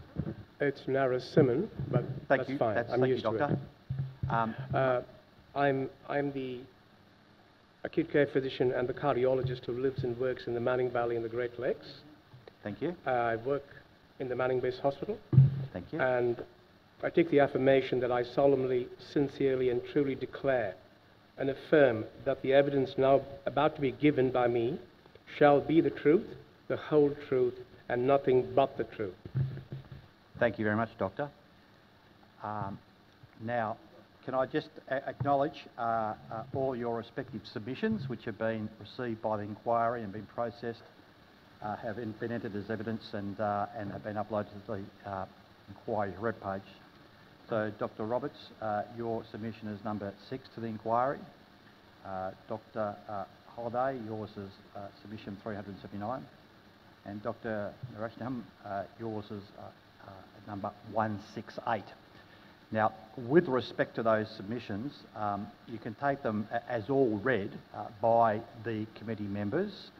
Um, so with respect to, I'm about to invite you to make an opening statement. There's no need to go through what the content is in any detail, but perhaps rather some broad comments to set up what we'd like to do, and that is some questioning of yourselves about the content of your submissions and matters arising from that. So if you're agreeable with that, doctors, is that satisfactory to you all? We'll start then with you, Dr Roberts. Just an opening statement, please. A- As reflected in Mel's testimony earlier, I believe that pe- people of regional and rural New South Wales are disadvantaged by a lack of public outpatient services. Manning Hospital does not have the infrastructure nor the personnel required to run outpatient clinics efficiently. Because regional hospitals are largely staffed by VMOs who, who generally run clinics in their private rooms but not the hospital, regional residents of New South Wales are forced to pay for the same care that their city cousins enjoy for free, or they have to travel hundreds of kilometres for that care, or worst of all, they go, out, go without the care altogether. The problem is not with the VMOs, it is due to a failure to attract staff specialists to regional hospitals. It is with regional hospitals that do not employ VMOs to run publicly funded clinics on a sessional basis. Now, there are numerous negative consequences of this imbalance of VMOs and staff specialists. As I said, there's a lack of publicly funded clinics to which rural residents can attend. Further, doctors in training do not receive the training that they require in outpatient care because it doesn't occur within the hospitals. And they don't receive adequate day-to-day -day supervision and support. Furthermore, there is a lack of governance mechanisms to ensure that the right procedure is being performed on the right patient or that complications are adequately investigated and steps taken to prevent their recurrence. And finally, the VMO model can encourage over-servicing. Doesn't always, but it can, and I have seen this occur. In 2018, I reviewed over 200 women who came forward to express concerns over their care at Manning Hospital under the care of one particular doctor. It was evidence that a doctor there had been performing unsafe operations and unnecessary operations, which in my opinion at times reached fraudulent levels. However, he operated unfettered within the health system for some 16 years, despite multiple horrific complications that went unreported or were not investigated at all. Now, as stated by Gail Furness in her independent report requiring surgical complications by this doctor, they, the patients, often returned to his private rooms and some were encouraged not to attend Manning Hospital after the complications arose. She goes on to say, there was no evidence available to me that before the arrival of Dr Roberts there was any reviews of the IMS undertaken to enable any pattern to be detected or reviews followed up. And she continues, it is no coincidence that IMS reports and other complaints escalated from mid-2015 there were discussions among colleagues and no reporting because there was no one to report to. As I said, the problem was not with VMOs, it, was a, it, it is with an unbalanced system which fails to attract staff specialists to regional areas. It is with regional hospitals that do not recruit staff specialists in the roles of director, so that someone with the expertise in the relevant specialist area has dedicated paid time to ensure that excellent standards of care are met and maintained. A director represents a role, it's not just a title. Now, if we are to aim and achieve excellence in our healthcare rather than just throw the term around as management speak, then we need to invest in the medical leadership of our regional hospitals. We need to incentivise working as a staff specialist in regional hospitals and we need to stop wasting money on unnecessary procedures. If we do any less than what is required to fix the system, it's a rebuke to those 200 brave women who came forward to tell us of their injuries, and it is an ongoing disservice to the people of regional New South Wales who pay their taxes just like their city cousins. Uh, thank you, Dr Roberts, for that uh, very comprehensive opening statement. Uh, can I invite you, Dr Holliday, if you'd like to make an opening statement? Thank you. I'm a GP. I'm an addiction physician. I'm a past GP anaesthetist and GP obstetrician, and I'm currently in both private practice and in hospital practice as staff specialist here in drug and alcohol. In Houston, we have got a problem, and the problem I'd like to talk to you about is workforce. When I was looking to come to this area, um, I looked around a number of rural practices as a, G, as a GP proceduralist, and every single one around New South Wales wanted to charge goodwill, sometimes up to $65,000 to join a practice. But now the tables are turned. We have to pay recruitment agents sometimes $28,000 to get a, a, doctor, plus promise them the earth. And even then, we can't get doctors to come. I was speaking to the owner of a recruitment agency in the last month, and she told me her company has about a thousand GP vacancies on their books. I think it's a national company, and they can only they place about 20 to 30 a month. And she's got to the point where they actually refuse to accept practices that are trying to get uh, vacancies advertised through their agency uh, because they're wasting their time trying to get them filled. You and this committee have a very tough job, and I don't envy you because there are a lot of inquiries, there are a lot of requests for your attention, a lot of ways of looking at things, a lot of complexities. But today you've heard about the pain and anguish in our community as in many other regional communities. And you have the weight of our expectations on your shoulders to look at the whole health system, not just in a blinkered uh, or uh, you know a fashion with electoral advantage. And I hope four proposals I make to you today could help you improve our health outcomes. First of all, research. I think we need to facilitate clinicians researching, and I think we need to also evaluate policy. And a failure to do that will mean that we don't identify best practice and policy. We need to improve recruitment, especially rurally. Less than 5% of Australian trained doctors choose to practice rurally. This is a disaster. To fill the void, we, have, we seek international medical graduates. And they endure a horrific time, months and years of Kafkaesque barriers and multiple fees. It's, a, it's an awful marathon. There are at least half a dozen federal and state agencies all not talking to each other and, and making life hell for the international medical graduates and for those uh, people in rural areas trying to get them to come on board. Your committee must look to ensure these bodies coordinate. Without this, the health system enters a state of functional stupidity where competent bureaucrats work in a blinkered piecemeal fashion, creating an incompetent whole. My third suggestion is you need to facilitate retention. A lot of the doctors around here are burnt out. One senior GP in town recently uh, had to stop working very suddenly, and I was just speaking this afternoon to a owner of a large practice who said, I'm just so burnt out, I'm going to have three months without seeing patients. Rural GPs earn no more than their urban colleagues. And payroll tax is destroying our viability. It's important for this committee to recommend to Services New South Wales that you drop payroll tax on rural medical practices, especially practices that are employing GP registrars to encourage them to come to the bush. Revenue in New South Wales recently dropped it for Qantas, and you need to do it for medical practices on the same grounds of public interest. Rural uh, public hospitals need to stop ignoring GPs. You need to start we need to start collaborating better. We need to stop de-skilling GPs, undermining them with competing outpatient services. Rural GPs must not be regarded as gatekeepers. I don't think there's any evidence that outside tertiary referral centres, only specialists should provide hospital and outpatient services. Well-trained GP proceduralists or rural generalists can deliver much or even most of the services in their area in a competent fashion. And such a lower cost and accessible model of care may re help reverse some of the deterioration of our health services.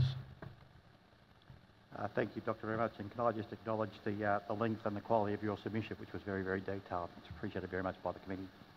Uh, Doctor, would you like to make an opening statement? Um, and please Thank do. you.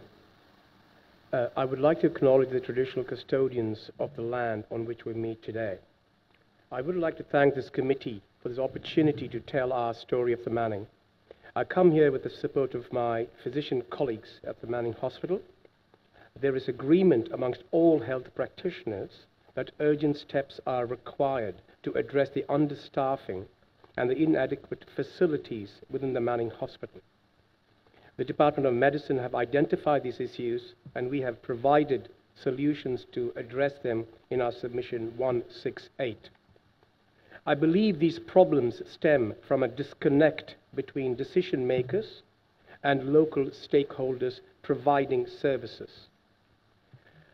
I would like to highlight pertinent problems for further discussion later. They are chronic inadequate funding and downgrading of facilities and services, centralized decision-making process that disadvantages those providing the care, the failure to provide contemporary facilities, infrastructure, thereby not allowing health practitioners to provide standards of care as expected by New South Wales Health.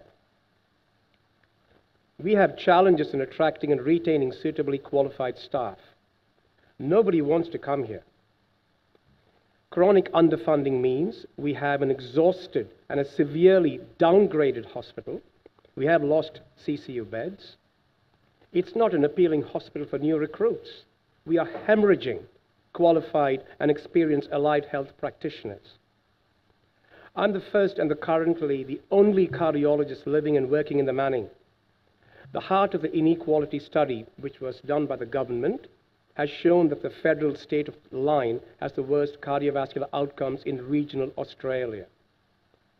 This automatically explains why I have an extraordinarily large workload with major responsibilities.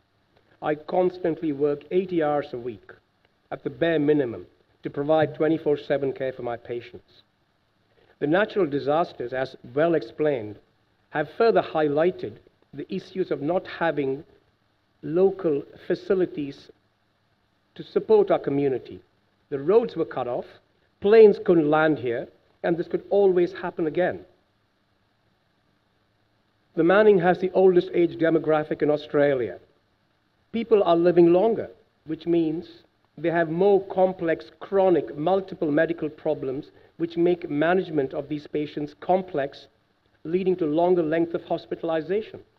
We have high levels of socio-economic disadvantaged patients, a large indigenous community which have their own requirements, which are appropriate and should be respected, all these factors in combination make the needs for this region complex and dictate a higher level of service provision.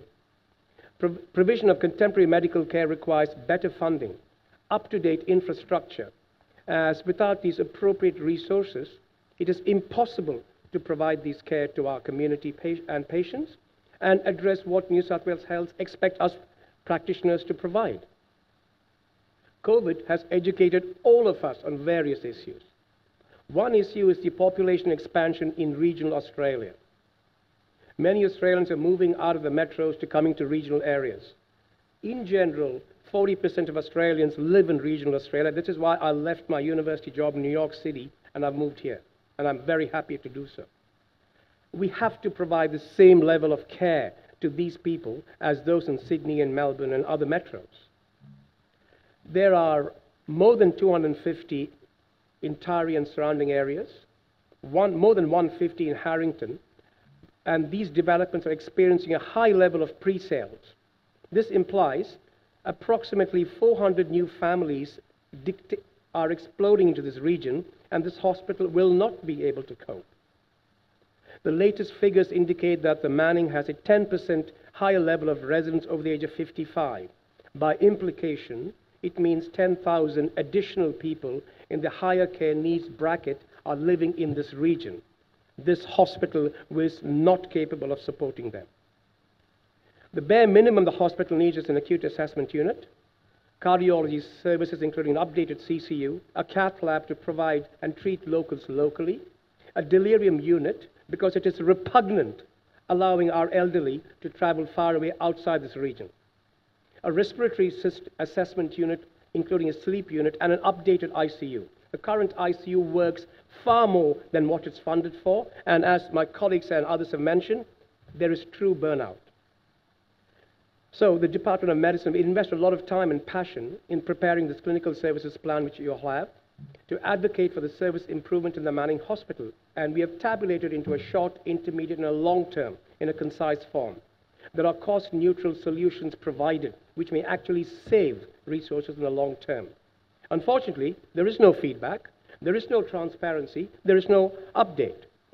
And a response of it's confidential in when we ask what is the accepted updated, submitted clinical services plan does not foster a good working relationship between the medical workforce and the administration.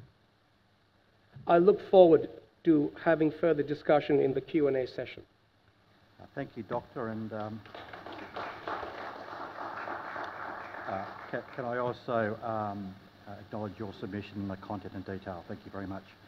Well, we'll move now to questioning, uh, and we'll share it between the groups represented here, which are uh, opposition, government, and crossbench members. So we'll start with the government. The Government members like to kick off with the question. Um, yes. Um, sure.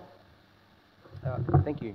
Uh, thank you very much uh, for uh, appearing today. And um, Dr. Holliday, I want to start with you first and, and looking at some of the, the workforce issues, I guess. And um, you provided to us in your opening statement and your submission some ideas around what it is you think can be done to, to start addressing it. And, you know, obviously there's uh, issues like taxation, um, issues uh, like remuneration, like, um, can you expand on a few of those and um, just provide some insights into how the dynamic has changed in the in the past 20 or so years? Because I noted you talked about um, what it was like when you came, and you know having to pay goodwill uh, to join a practice, as to now finding it hard to attract people, and how that's changed, and, and what's changed, and what can be done to return it back to, I guess, uh, a, a more an equilibrium of where we want to be?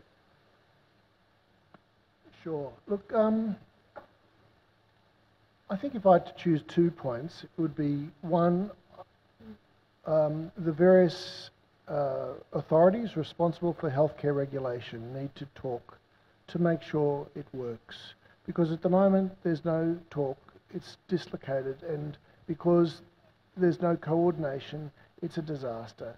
And a very simple thing of just trying to look at the pathway that people could enter the workforce or, um, or remain in the workforce or leave the workforce and getting the different stakeholders uh, to make sure this works better would be a, something doable. I mean, there are the issues of state and federal um, contests, but that's a good start. The second thing I think is really important that we need to make sure Australian trained doctors come to rural areas. Now, um, I did speak to uh, one of our local politicians who told me that the AMA would not allow medical conscription. I think that's passing the buck, and I think um, we already have a form of conscription, international medical graduates are required to come to rural areas. Um, so what's good for the goose is good for the gander. And I think that Australian taxpayers, rurally and urban, pay tax to develop wonderful universities and wonderful curriculums and wonderfully culturally appropriate training for our doctors with the skills and the interpersonal and um, social, cultural um, skills that they need to be to deliver great health care. And I think that rural people should access uh, such um, a product of our um, system. In the meantime, um, we are um, reliant on international medical graduates. I think something like 35% of the medical workforce is now international medical graduates. And I think we've got to make, we've got to look after them because they have a hell of a time. It's a disaster. If you read my submission, you'll see reports about marriages breaking down, and uh, it it has been very very difficult. It's um, the way that international medical graduates are treated like cannon fodder, really, for uh, the fact that we do not provide for our rural communities from our own medical graduates. So we take um, medical graduates who are very expensive to train from often from developing countries. And I don't, and I think it's like a reverse foreign aid. I think we should be not relying on international medical graduates, even though they have, most of my colleagues are, and I have a wonderful relationship and great respect for them. But I do think that we need to say Australia needs to start providing its Australian trained workforce for rural areas. I could go on, but and so if we're able to supply, uh, say, our own organic workforce um, with Australian trained doctors only, how do you think we're best able to uh, attract those doctors to places like the Manning Valley um, over, uh, say, a metropolitan area? We know uh, that the quality that, that you get, you know, quality of life you get living in an area like this. Um, but how do we impart that to, to those new training doctors to, to make them to want to come here and actually set up their life and their practice? And that's a great question. Um, be, and um, you've got to look at the doctor and you have to look at the spouse or the partner and the family as well mm-hmm. because they come together.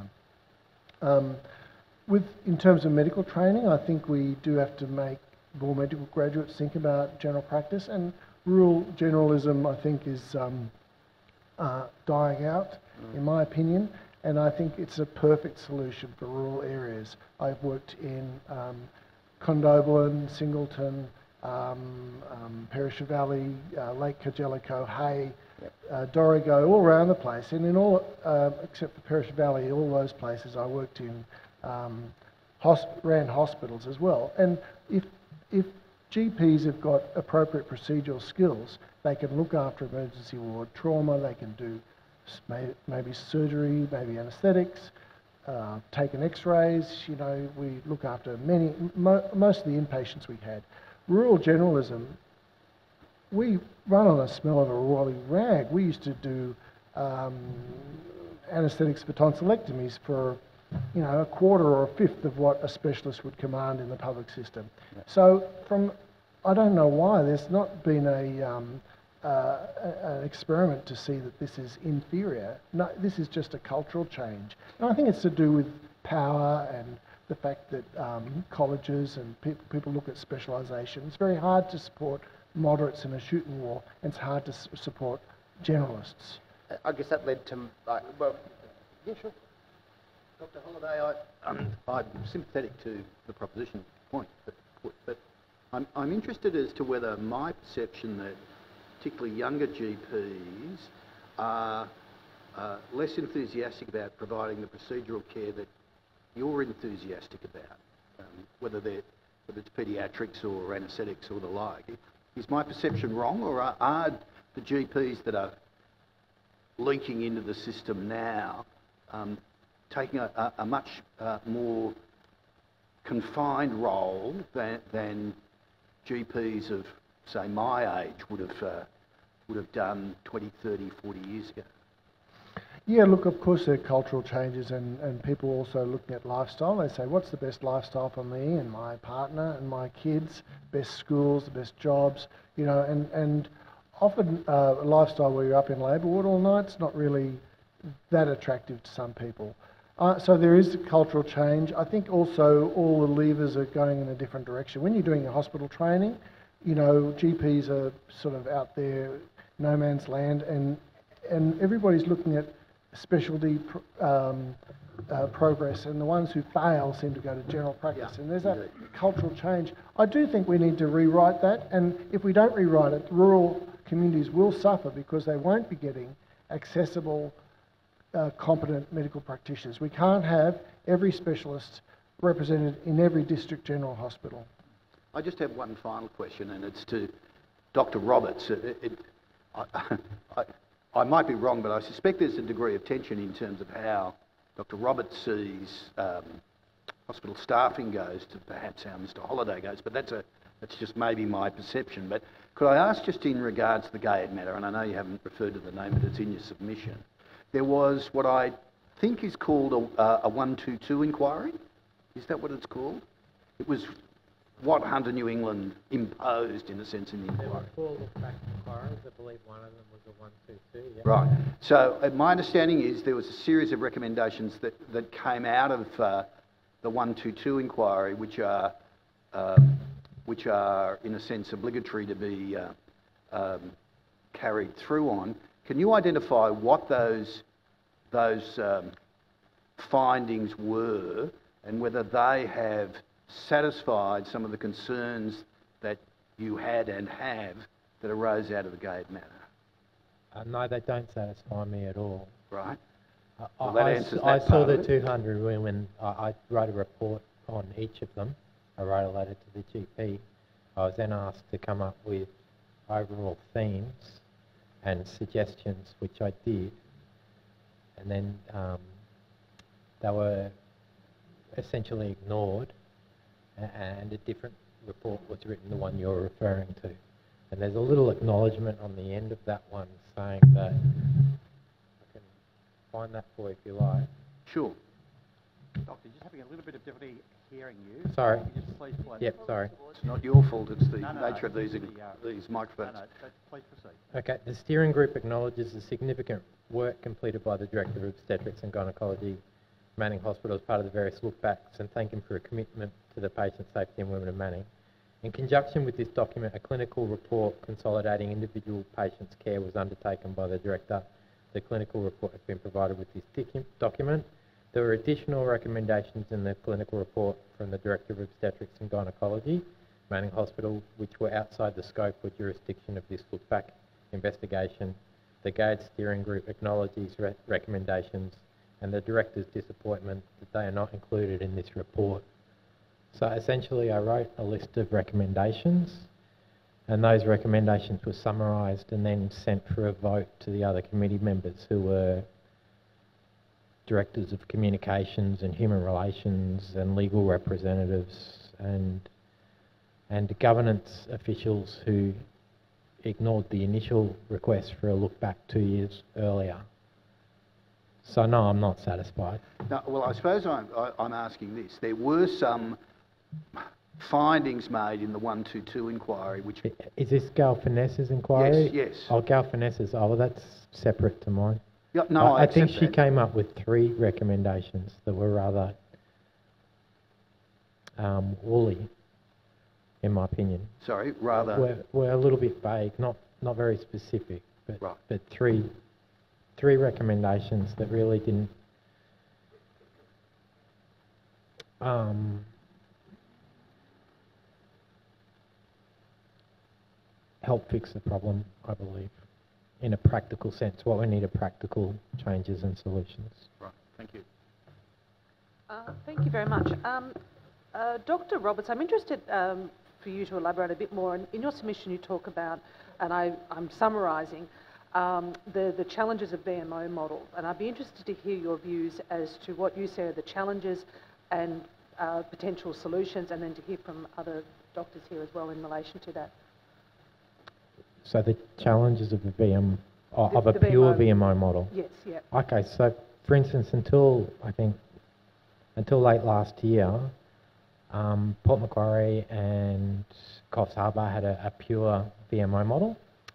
So there are no gynecology outpatients for public public patients. So essentially, they were sending.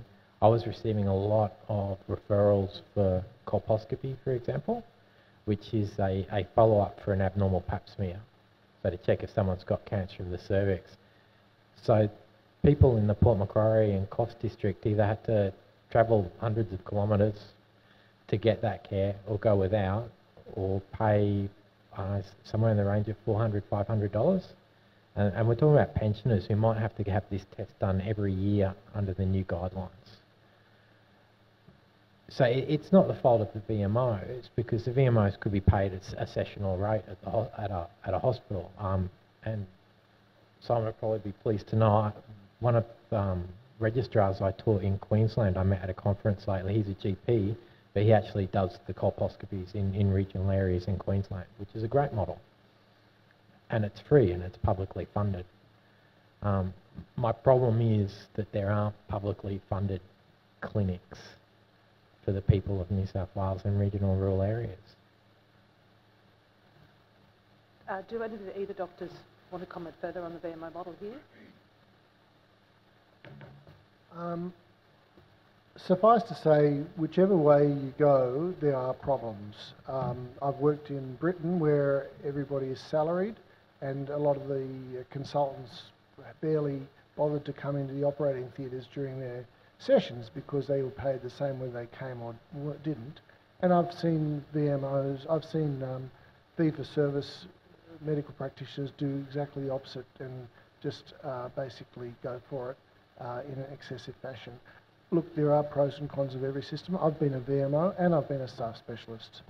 Uh, I don't think it's made too much difference the way I've practiced, and I've had registrars in both capacities. Um, I, I don't think it's black and white. Um, final question um, is, uh, we've been given additional documents just before um, uh, in relation, I think they're, uh, what are the, BHI, um, Bureau of, the Bureau of Health Information. Now I've noticed that it's a, a, almost 10 years old, the data. Do you have anything more, uh, more recent? So first, I think all of you should call me Dr. Sesh, like everybody in the region does. It's easy. So I, I feel your pain. Um, so all the evidence which we have, which I've submitted and tabled, is what we have up to date. The Heart of Inequality report has overshadowed this, where it's clearly stated that the worst cardiovascular outcomes in regional Australia is in the federal state of Lyne. So we live and work in the federal state of Lyne, and uh, the evidence what we have submitted is 10 years old, correct, 2012 and 2015, but there's none up to date because the population is getting old. Heart disease is an old person's game once you're over the age 60 and above. There are certain ethnicities in the world which have far earlier onset of heart disease. So the subcontinents, like myself, I only have baldness, I'm okay, uh, are, are particularly high risk. We beat the Aboriginals gold, silver, and bronze in terms of early onset heart disease. And we have a regional, re reasonable size of both communities living in the Manning. So um, the BHI doc, and I don't think it's going to get any better because the population is aging, the population is expanding, and by principles of uh, common sense, the problem is not appropriately addressed, will not get better. I don't have anything else to provide. I have, I've given you all what I have. Okay, that's fine. Thank Could you. I possibly chip in there too? I, in my submission, I put um, some references for um, Lyne. This electorate is the oldest electorate in Australia, and also uh, Pain Australia in a Deloitte's a report two years ago said the highest rate of chronic pain in Australia is in this electorate as well. So we also feature highly in issues like cardiovascular disease, diabetes, and poorly in issues like socio-demographic uh, factors. Yeah, Dr. Roberts. Dr. Roberts, in your opening statement and through questions that you in exchange with Mr. Mr. Khan, you made reference to um, to a, a, previous gynecologist who worked up here. Now you're referring to Dr. Emil Gayed, G-A-Y-E-D. Is that right? Correct. That's right. Um, are you still looking after the patients yes. that he ruined their lives? 200 women? Yes. Yes. So what has been the, I, I see your colleague next, next to you is also nodding his head. Why do you think that he was allowed to operate for 16, 17 years by the local health district up here? What, is it because of staffing shortages? They just looked the other way? What was the reason that you, you think that he was allowed to uh, act like a barbarian? Honestly, I believe it was because there was no one in a role mm-hmm. with with the proper level of expertise who, who, could judge what he was doing. A- and you need someone with with the time and expertise to look into the complications and see if there's a common thread. And, and that's what Gail Furness pointed out in those comments I, yep. I, I, made. And it's not that a staff specialist is, is special in relation to a VMO, but they have that paid time. They're not running a business separately. They're not missing out if they're doing this investigation. They're not missing out on seeing patients and, mm. and making sure that they can run their business and, and pay their, mm. their staff. You needed someone. And, and at the time, the the medical superintendent who was in charge at the time said that's why he didn't pick it up. The medical superintendent who followed him said the same thing, and the general manager said the same thing. We all said that was what was missing. Because within nine months of me arriving there, without having any forewarning of him, he's not there anymore. And it's not because there is absolutely nothing special about me. It is just that there was someone in that role. There was someone there who had the, the time and means to check what was going on and, and follow up complications and see if things were being, being done correctly. And, and look, I, I, I, can tell you stories about a, a woman who was 20 getting seven curette procedures in 13 years, none of, none of which were indicated. And in, in six of them, it's a, it's a diagnostic procedure. You're meant to get some tissue so it can be looked at. In six of the seven, he didn't get tissue. I, I don't know what he was doing. And the one occasion he got tissue is because a registrar performed the procedure. Was he? he? He's putting the device in, waving it around so he can claim the money for it. Terrible.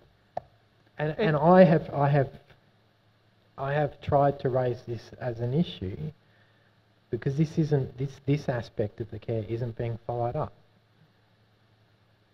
Do you think that, do you think that the local health district ignored ignored his activity if, if in fact signs came forward or questions were no, raised no, because of a lack of staffing and I I I don't think so honestly yeah now what about what about the women who suffered under him yeah. under his so-called care yeah. What, what's happening look I, I can say that in my opinion that some of those complications yeah. were were then understated Okay. Sorry, were then under, they were under investigated and Oh, the under- seriousness of them was under, understated. So there's a lady who had a, um, an infection following a hysterectomy and she ended up with gangrenous bowel and I, I don't know, this, we're now 10 years down the track and she still has a stoma and she still has an enormous um, wound hernia. Now, no, I can I can tolerate a complication if an operation has to be done. Know, complications occur. We all get complications. I'm not complication free. Mm. So this was initially put in as what we call a SAC 2, saying No, this, ah, this I is know- a serious I know thing. It was downgraded to a SAC 3, saying it's a moderate temporary inconvenience. She still has a stoma. Don't tell me this is a SAC 3 there was a case when a lady he, he's doing he's burning the lining of the uterus as a, as a treatment. Now, you don't do this for postmenopausal bleeding. You don't do it if a person has a precancerous condition. Well, he did it on a lady for postmenopausal bleeding, and she had a precancerous condition there, and she turned up a couple of years, like uh, a few months after he was had his license removed, or not renewed, and she died a few weeks later. And it's because she had a procedure on a, on a precancerous lesion on her uterus. And I, I, I'm horrified by this. So I put it in as a SAC 1. Like, you know, she's dead. And she needn't be dead. If she'd had the, product, the correct operation, she'd be alive. And it was downgraded to a SAC 3. By who? Who downgraded it? Someone in governance. I, I don't want to bring in third yeah. parties. And then I got in strife because I conferred with colleagues to see, am I insane? Is this, is this not one of the most serious things you've ever heard? And people from governance are yelling at me down the phone, how dare you question this? Why are you asking other people? Are, are you being supported? You...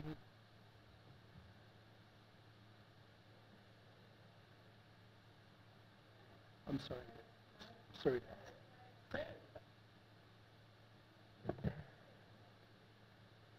It, it's I haven't received as much support as we needed, and the women haven't received as much support. The last time I spoke,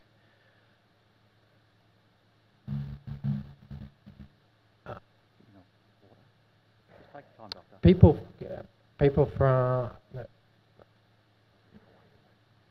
Hunter New England um, executive have made it clear that this matter is over and they don't want to talk about it anymore. They made that clear to me in two years ago. That the Gayed matter is over, it's over, I don't want to talk about it anymore. Dr. Um, Could I just ask, sorry, uh, Okay. I'm going to share this, but, but Dr. Clearly there is a legacy issue which is going to have a long tail for these women who uh, obviously had this experience that will run into many years in front of us. Yeah, so uh, in gynecology clinic yesterday, two of the six patients in, in the morning were, were ex-patients of Dr. Gayed. Um, and um, one of them was a direct, is it, I, I saw her for, a, for follow-up of the procedure he did and an ongoing treatment. And I think in the end, yeah, she's going to need major surgery perhaps now, which may I perhaps she could have done without. May I ask that individuals like that, in a sense, have they been red circled as individuals that need to be particularly looked after, given they arose from these circumstances, and their care is going to be Yep. obviously taken into account? So last Friday I got called to theatre to see a patient because she was an ex-Gayed patient. Is, is that what you're kind of getting at? Like that they are, they're highlighted, like, oh, this could become a legal issue. And for me, it's not a legal issue, it's, it's a medical issue. I just want, I want these women to be well and I, I want us to put in the steps to stop it happening again, even though it's painful, even though it's hard. And it is hard. I, I've, I've spoken to secretaries of health, I've spoken to health ministers. I have emails from secretaries of health saying we're not going to respond to your emails anymore. And it's, it's out of a frustration that things aren't, aren't being done. And, and it, it is hard, and not everyone's in agreement, but you need someone. Unfortunately, some doctors are are not honest, and some doctors are not safe. And even though the vast majority are, you, you need these safety mechanisms. I think. We do, we've got to share it around. Can we Yeah, yeah, circle okay, back? I'll, I'll just ask Okay, one, hold on, one and quick then- one to Dr. Um, Simon. Um, you talked about working 80 hours a week as the region's only cardiologist. Uh, How does working 80 hours a week affect your ability to provide care to patients? So um, I'm lucky that I only sleep four hours a day, and I can I can and I have boundless energy to burn. Uh, that's an advantage I have. Um, it doesn't affect my ability to provide care, but it it incredibly frustrates me that I cannot provide the contemporary, current, expected care to my community and my patients. Um, I've been advertising for five years for a second cardiologist on my own time, effort, blah, blah, blah. Um, the phone call is unique. First, I have to educate most Australians where Taree is, which is interesting. As a naturalized Australian, I'm educating the locals where the region is. The second question is, do you have a public hospital? I said yes. Third question is, do you have updated cardiology services? which is an updated CCU, a cath lab, and the ability to provide and treat heart attacks locally. I said no. Any options? No. Any future plans? No. Thank you very much for your time. So that leaves me in a position of no win, and I've got to do this. Now, I agree with Dr. Roberts that we need to have governance, we need to have ability to provide and care for people. And I've had similar experiences. I have met the health minister, the current one, and in his office in Sydney, and I've asked questions. You know, we hmm. are in a faraway area. I don't think we need cardiac surgery or neurosurgery in Taree. I'll be the first one to fight it. But we need to have updated services so we can attract other specialists, nurses, pharmacists, and other allied healthcare. We don't have an active pharmacy. Majority of our patients do not have pharmacy reconciliation because there's not enough pharmacists. So there has to be a solution. And sweeping it under the carpet, like the royal family or Downton Abbey, is unhelpful. You've got to address this straight out. Yes. Doctor, what do you do if you're the only cardiologist in Taree? Yes. I What, am. no, what, what do you do if you want to go on a holiday? So, before COVID uh, came in, uh, I visited my family in Dubai, uh, and I met my cousins after 30 years. I got phone calls because we had Wi-Fi, and I got ECG sent to me, which I answered, and I said, "I'm sorry, I'm in another continent." So, I have my colleagues who are fantastic, who support to the best of their ability. We have an excellent network in John Hunter Cardiology, who are very helpful and supportive. Before I came here, everybody had to leave to have everything done, meet people, have a conversation. We don't have all that. But it is still unacceptable. It is still unacceptable. It is no point people acknowledging age and the oldest demographic, but nothing is being done. You know, having, yes, I understand, I acknowledge, I feel your pain. That does not save lives. My colleague. Uh, or Emma. Thanks. Uh, Deputy Chair and uh, And you thank- have your time, okay? Thanks, Chair. Thank you. Uh, uh, Dr. Narasimhan, um, you talked in your opening statement, sorry about It's uh, you talked in your opening statement about this real disconnect, and in your submission, you, you talked about um, $20 million for 12 car parks um, and new beds uh, that don't fit in hospital rooms. I mean, this all sounds quite absurd. Um, you know, how are these decisions being made? What, what, what's the what's the fallout? So, if I knew the answer, I would be the first one to stand on the top of this building and share it with the whole world. So, there is no consultation. So, if we say we need a table and a chair to help this process get better, we go to our line manager or whoever.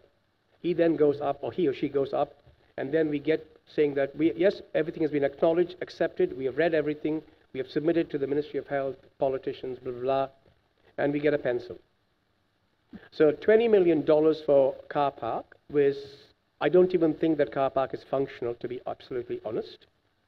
So we have a updated, nice renal and an oncology service. The problem is the local nephrologist was not contacted and his opinion was not sought to build the facility. If a person has something needing acutely done, like an x-ray, can't achieve it because it doesn't fit. So now they have built everything, then they've gone and refurbished it. Majority of the tradies in town are either patients or friends of mine. I can tell you how much money has been wasted on erecting scaffolds, pulling it down, re-erecting scaffolds. I, I have more information which I can share, but I, it might not be the place for it. So the decisions are being made by I'm not sure whom, but I am 100% sure they've been made by people who don't live and work here. Living in the middle of Newcastle or in Coogee Beach and deciding what the hell Taree needs is inappropriate. It is totally inappropriate. Because we are the ones who are here dealing with these sick patients. And there has to be a better, there has to be a better way. There has to be. I mean, Victoria told us this, build it and we will come. It's cold freezing in Victoria, and that hospital is doing well. Dubbo and Orange is an example. Port Macquarie was a fishing village when my wife, who's from this part of the world, was a young girl. They are a thriving metropolis. And I am not sure why. Taree was the big hospital in the 70s where Katrina had her ear surgery. Now we are so downgraded, it is, I, I don't even know if I can call it a joke. I'm going to retire here. I'm not leaving. But I have to make, and my colleagues are going to help me to make this better because we have a community support. We cannot just carry on the way it is. We are tough in the country, but there is a limit to that. Thank you. Um, uh, Dr. Roberts, we, we've heard in other parts of this inquiry that um, the system around recruitment and retention is quite different in Queensland than it is in New South Wales. My, my understanding from your submission is that you've worked in both states. Um, have you yourself noticed a difference? Um, and if so, what should we be borrowing from what Queensland does to make things better here in New South Wales? So in, in terms of staff specialists uh, and, and probably VMOs, I, I believe that the pay scale differs on the remoteness of where you're working. So, for instance, and no, no disrespect to Broken Hill, I, I wouldn't want to live in Broken Hill. I like living by the sea. If I was to live in Broken Hill, I'd, I'd want to be paid more. And, and I think that's, I often see um, advertisements for working in Broken Hill, and they must really struggle because it's a long way away. The travel will be more grievous, and then yeah, it's, it's it would be a difficult place to work. It's not it's not rocket science. It's not brain science. It's not even orthopedic surgery. You, you- need yeah, that's a doctor's joke. It was really funny actually.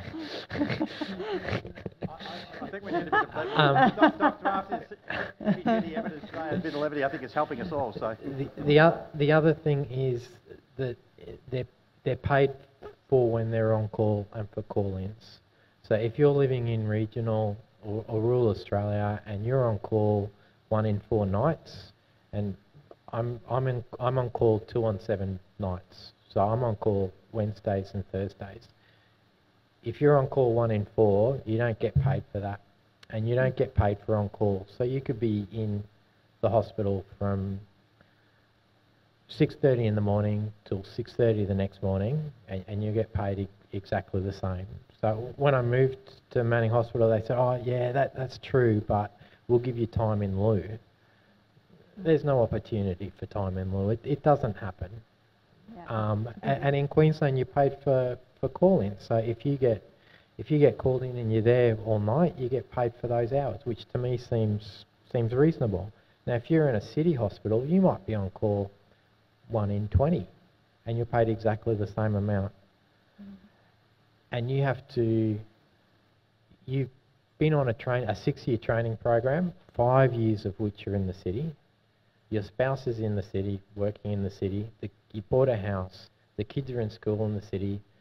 We're trying to get people to move to regional and rural Australia and give up that thing, give up all of that, and for what? Because, like you said, they don't know the lifestyle. They don't know how great it is to, to go a couple of kilometres offshore and catch snapper. They, they don't know what it's like. All they see is they have to sell their house, spouse has to change jobs, the kids have to change schools, and, and, and, they, and maybe the area doesn't have the sort of schools that they want to send their kids to, or they think they want to send their kids to. So that's the difference in Queensland, and that's why they don't struggle quite so much to get people to regional and rural areas. Thank you. So I've just got one more quick question. So, Doctor, do you have some, uh, Sorry. something you want to contribute to that answer? Thank you. Please. I have an appointment in Queensland Health as well. I go once a month and provide acute uh, STEMI or full-blown heart attack services where we wake up at 2 in the morning and take them to the cath lab and stent them. I do that once a month in my exciting life. And the one thing we've, as Dr. Roberts has eloquently summarized, that is an advantage Queensland has over New South Wales Health. Um, if you take Broken Hill as an example and Manning as an example, I'm fairly confident we are far better. We are not far from Sydney. We're not far from Port Macquarie or from uh, Newcastle. We have vineyards and rivers and lakes. I live by the river. The, so if you take a doctor, for example, I'm 53. I'll probably hopefully live till 80. The first half of my life, I've spent training. The second half of my life, I have family, children, practice, superannuation, retirement, making sure the children are sorted out. So for a doctor, work is worship. You tell a doctor to come here. This is paradise. We have dragons, purple clouds, beautiful beaches, supermodels feeding you grapes, and you can't work. Nobody will come here because half our life we have spent training. To come to a place where the hospital is up to code is, I believe, a great step forward to attract staff. Majority of my surgical colleagues are over 65. We have two surgeons under the age of 50. When my co- surgical colleagues, who are, and Dr. Roberts' colleagues who are over 65 retire or catch the A train, as they say in the world of cardiology, we don't have a plan to replace the surgeons. Cardiology and surgery are not very different. We can't, we, we are a dynamic specialty. You can't get a surgeon to come and work in this hospital where there's no operating theatre. Nobody will come. It's the same thing. So Queensland has strategies to address. They have this public-private partnership. They have got a whole range of activities which they call upon, which New South Wales, the first and the biggest state, has not. So I hope that's helpful. No, no, that's Very helpful, thank you. Kate Denman and your your full time. Thank you, thank you, Chair. Um, Dr Roberts, and I'll just say at this stage I could ask um, all three of you multiple questions, but we don't have much time, so I only have a few questions. Unfortunately, time for a few questions. Dr Roberts, I just wanted to, you, uh, during your opening statement, of course, you referred to the fact that there were some, that there are some recommendations in relation to the Gayed case that haven't been acted upon, and I think it's um, I'd like to just explore some of those if I if I may. But I did want to. You have said in your submission that there may be dozens of Gayeds employed and acting without appropriate clinical oversight. You mentioned that essentially in terms of VMOs, there's no one to report to.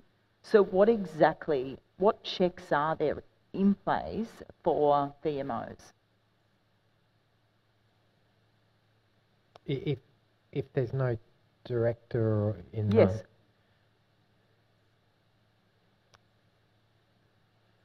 I mean, within the hospital, it's very difficult, as, as Gail Furness pointed out, that, you know, you, you don't have the letters, you don't have the investigations, you don't have the reports. Person with complications can go back to their rooms and you just never know about it. So it, it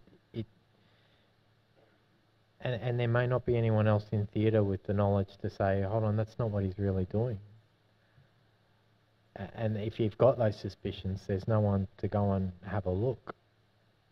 So So some, I, sorry. you know, the vast majority of VMOs are, are just honest, hardworking people. I, course. I, I want to make it really clear because this has been misinterpreted. Yes. My issue is not with VMOs. Yeah. And and I actually agree completely with Simon Holiday. I've worked with some staff specialists who are so lazy it caused me a great deal of distress, and that's that's why you need a director there to make sure that staff specialists are working, and that VMOs aren't So what are some of the, potentially what doing are, the wrong thing. yeah, what are, so some of the key recommendations or themes I think you referred to as well that haven't been addressed that you would like to, to raise this afternoon?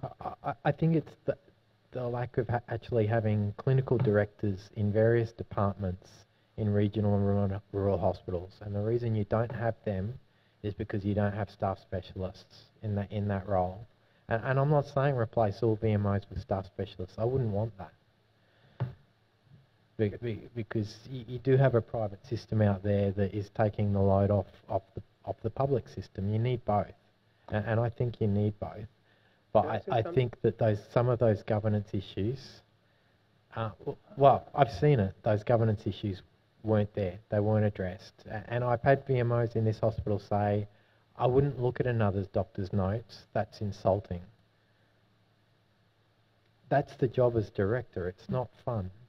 Uh, last Friday we had a high risk meeting, something that would never have happened unless there was a director there and a properly functioning unit and, and someone was trying to wanting to do something outside of the guidelines, A- and they're wanting to do it out of the goodness of their own heart. You know, they want to be kind for someone, to, for someone. But if our hospital doesn't have the correct equipment and safety procedures for that patient, that patient needs to go to a, a tertiary hospital, not with us. And if there was no director there, and there's there's no properly appointed director in in some other departments within the hospital, and I'm sure within a lot of New South Wales Health. Dr. Naismith? Thank you. So um, I agree with Dr. Roberts. So when I started in the Manning Hospital, I was the first director of medicine. I started as a staff specialist, but I was provided no staff specialist requirements like an office, a secretary. So I took my colleagues, senior colleagues, who advised me that that'll never happen. They've been here for 20 years. It's better you become a VMO. So most of the Department of Medicine are all VMOs. We now have co-chairs. So after five years, I stepped down because it's only fair.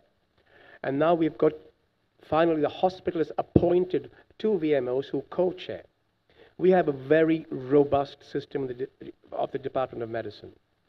Uh, we are the biggest department. we are the largest consumer of, con- of the resources because we've got the most patients. 90%, 80% of the hospital patients are us.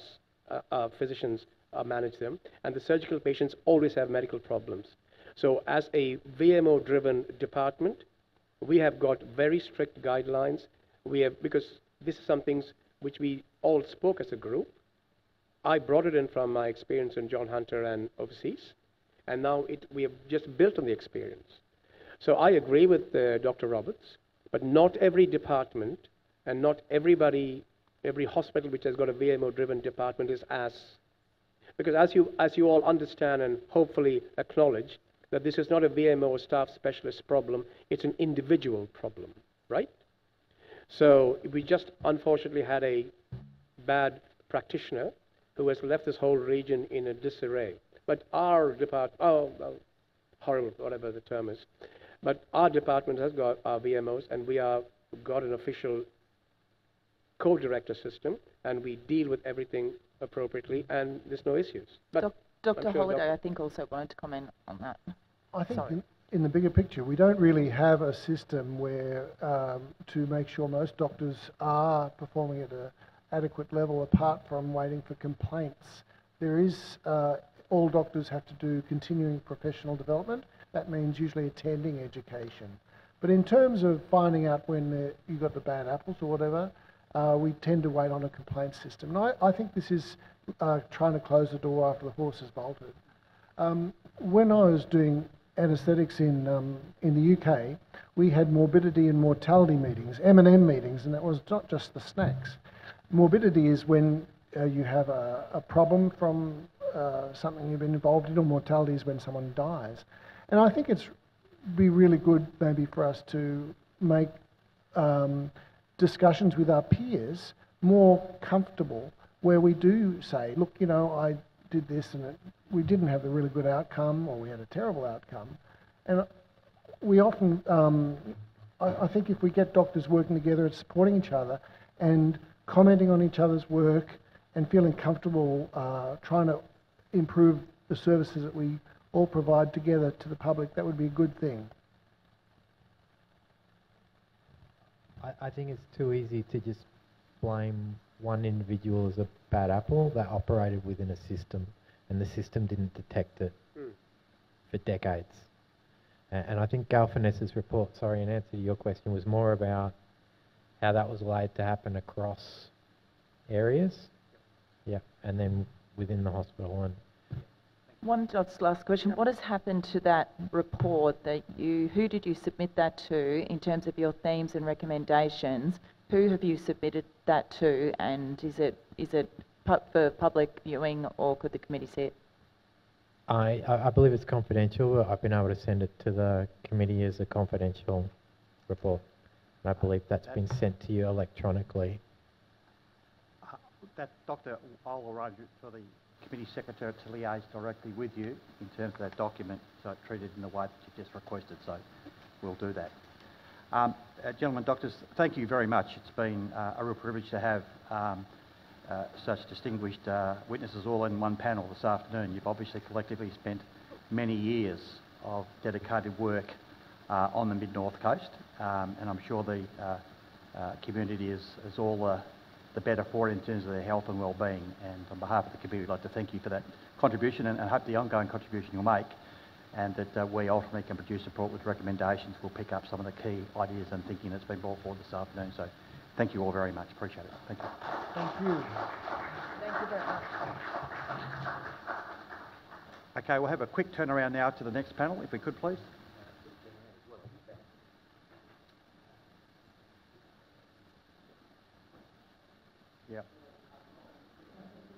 Yes, no, that's my plan. Yep, no, that's my plan. Yep, no, no.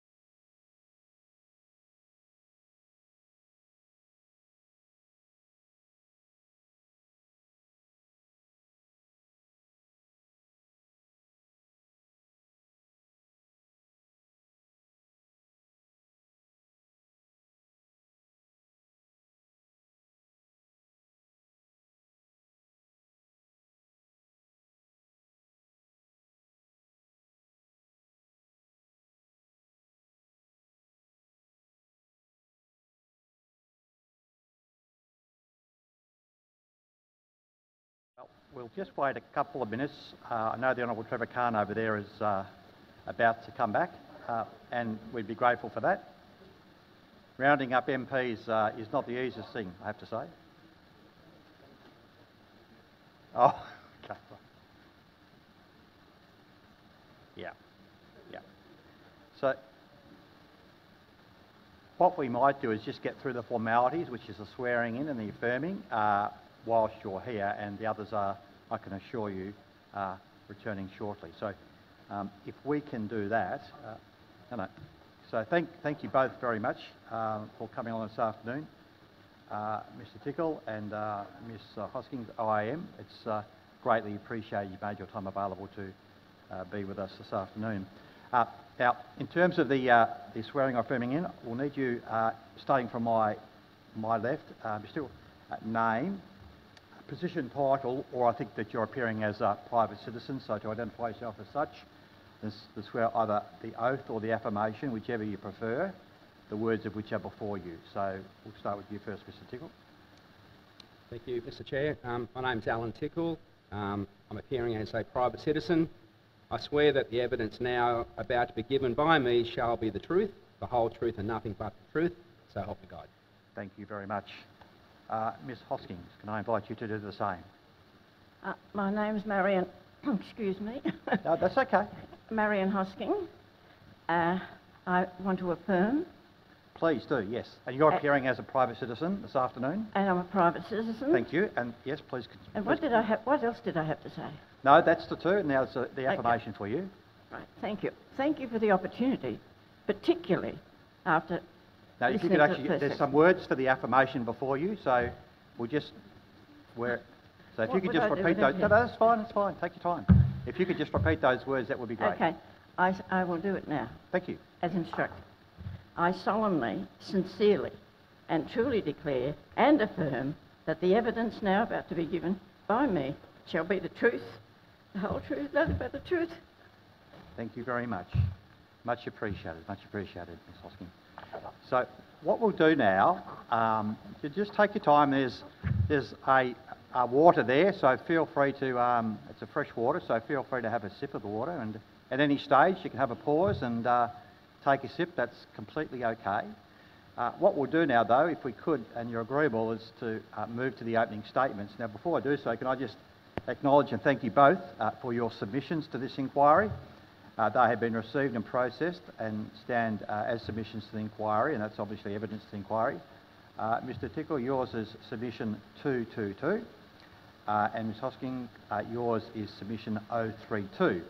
Uh, and I also note uh, for the record, uh, um, uh, Mr Tickle, that you provided some further material this afternoon. There's a, a letter on the cover, a photocopy of a letter on the cover, um, sorry, there's a, a, copy of a letter on the letterhead of Leslie Williams MP and a document which is with it titled Hunter New England Lower Mid North Coast Child Clinical Services Plan 2013-2017.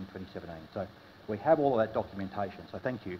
So can I invite you to make an opening statement? If you can keep it reasonably tight, and that maximises the opportunity for questions. So start with you. Uh, thank you, Mr Chair. Um, uh, distinguished members of the, the parliamentary inquiry. Um, I will also acknowledge that the elders past and present emerging. Um, I think the reference to that is um, highly applicable given there's something like 6% of the population in this area Aboriginal and Torres Strait Islanders. And I'd also like to acknowledge um, in the audience um, Liz Hayes, and I think the, the whole of this area is in, indebted um, for some of the aspects that she has raised in a 60 minutes program which, which brought a lot of this to light.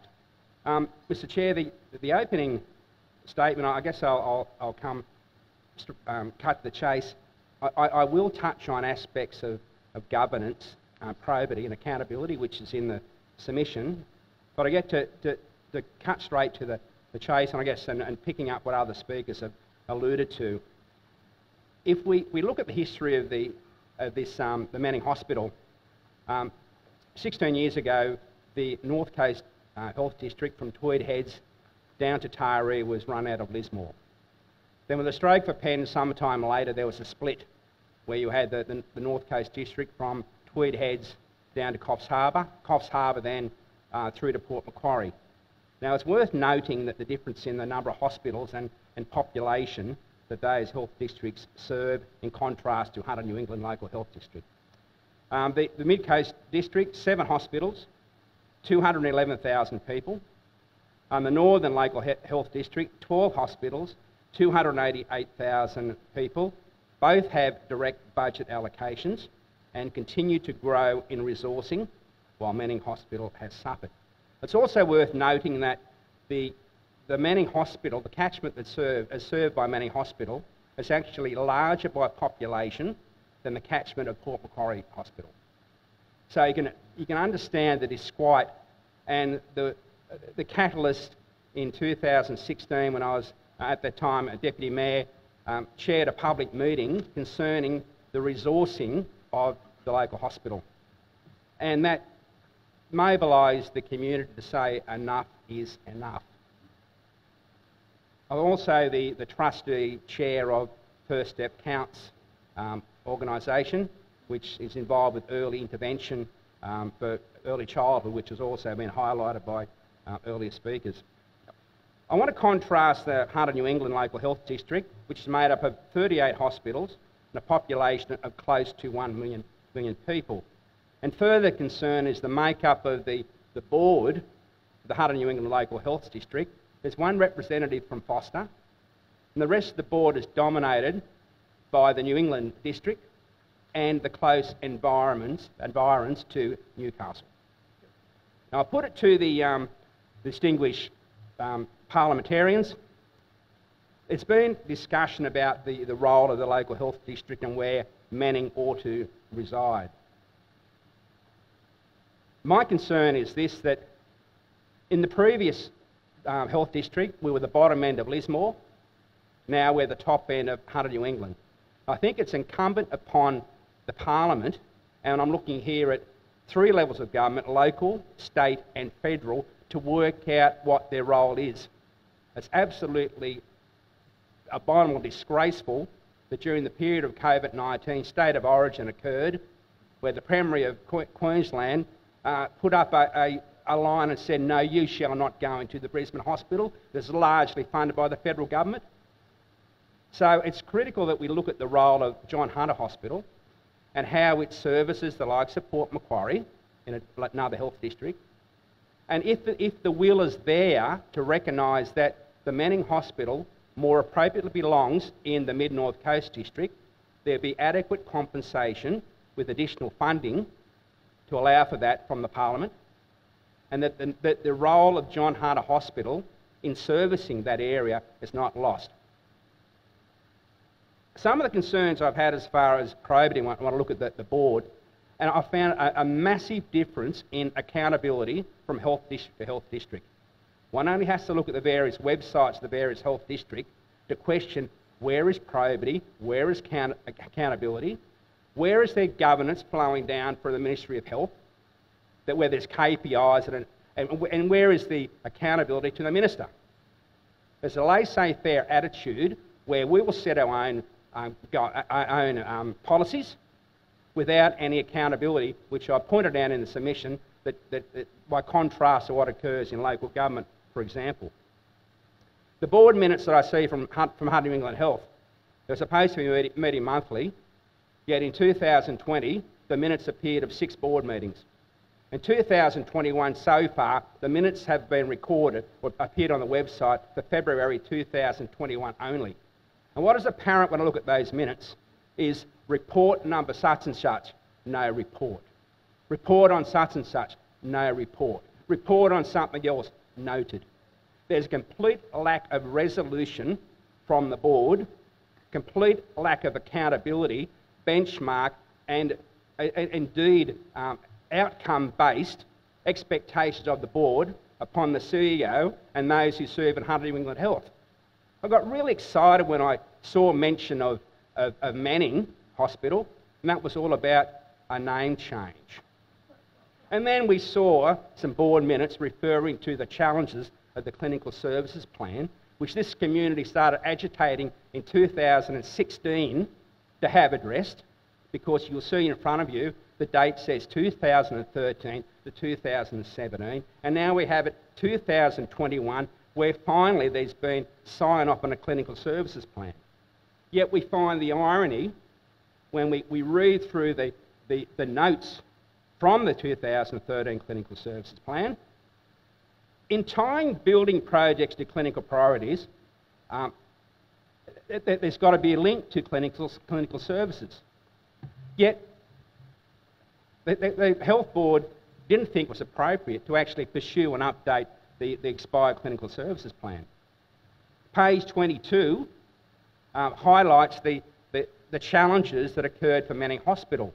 And how to meet those challenges is okay, people go to Port Macquarie or you go to Hunter New England Health. Much of the problems we have now were highlighted in 2013, yet nothing was done about it until this community said enough's enough and drove it to the extent where it became an election issue, the last state election. And we had a bidding war. Here's $60 million. We'll call you and raise you by another 40. Now it's $100 million. But yet when that was put to the CEO of Hunter New England Health, if you're going to get $100 million, you might as well build a new, a new hospital. But, but what is your priorities? How are you going to manage the money when we get it? When we get it, we'll work out the priorities and how we're going to spend it. Now, members of the, the inquiry, I point out that, that that money is not yours. It belongs to the taxpayers. It is not for you to put it out for political opportunism. Need, if an organisation, whether it be local government or whether it be a, a community group, went to a state government and said, we want a grant, there needs to be a business case. There needs to be an outcome based to justify that grant. Yet political opportunism allows money handed out without a business case to justify it. Not good enough. And the whole issue around probity, if we compare what occurs with local government, and it, it goes to all LGAs, you will start with a community plan. That will cascade down to an int- integrated planning mechanism that's non-negotiable. It is, it is the governance is, is over, the oversight is from the Office of Local Government, and much of the planning instruments, in fact, has to be signed off by the planning minister or the minister for local government. But the same appears not to occur when it comes to the vitality of public health in New South Wales. Where is the accountability from the Department of Health in how health districts operate, how boards operate, the accountability of boards, and how people in regional areas will get their fair equity? Because it is not good enough. Public health is suffering, and the regions have said we have had enough. Well, thank you, uh, Mr. Tickle, for that um, frank and forthright opening statement. Uh, Ms. Hosking, would you like to make an opening statement? Yes. this will be sort of male, female. No, that's okay. I, I'm, I'm, no, no, that's, that's okay. Um, if, if we could keep it to maybe two or three minutes, and then we can open up for questions. That would be the important part, if Well, you could. I've changed all my. I've I've oh, I'm sorry. I've changed my thing uh, because of what I've heard. And strangely enough, I never thought I would be saying I've been through this. Uh, well, 30, 30 years ago, well, we came to Taree in 40 years. Now, Marion, don't cry. Came to Taree 40 years ago and became involved as I was in Sydney, hence the OAM, for what it's worth these days, heterocredulin. Uh, God forbid. So, so I've, I've been working for women's issues and came up here and I won't go the long, the long and short of it was we, we got a women's refuge going. Highly successful. State, state funded, uh, federally funded, state managed, community based. Everyone was employed. The, the First Nation people were the first time they'd had proper jobs. Well, okay, then, I can't remember how many years, just two or three or four years ago, all this stuff that you're talking about starts happening. And uh, I'll- I'll again cut the story short and say we now no longer have the refuge. And neither have a lot of people up and down the coast. Hmm. They gave it to the Samaritans, hmm. a non-secular a religious organisation, and ours was a secular organisation. They just handed it to me without reference to the president or the committee. It was just as you described. Before you know it, they jump on you and it's gone. So you're in the process of losing, we are in the process of losing our, our hospital. I tell you what, it's that close. If you don't do something about it, you won't have a hospital. Oh, it's just down the road to, to Newcastle. That's what they'll say. Oh, they don't need it. They don't need a refuge. Uh, we've got police. We've got 1700 respect or whatever they call it. It's nothing. So I've been through it and I know it will happen. So I accepted this offer to sub- submit my views in general, impressions and experiences of Manning Valley Health and Hospital Services, and this is where I've got to be careful not to cry, um, because my um, son died. Take your time, take your time. Have a sip of water. Yep. But you can't be here forever. No, that's okay, that's okay. Um, on the one hand, the state spent thousands, thousands of dollars on taking him to, um, uh, thank you, uh, of taking him to, um, for trials. Very much appreciated at the time, because each trial you think, this is it. But while they spend thousands on his trials, they then already have the heap of dead ready for you to toss him onto that. So when he comes back and this trial doesn't work and that trial doesn't work, no, no, Rick, it doesn't work. Well, what do we do with him? Oh, there's that heap of dead over there at Kringle, dead or dying. So toss him over there, which they did, without reference to me.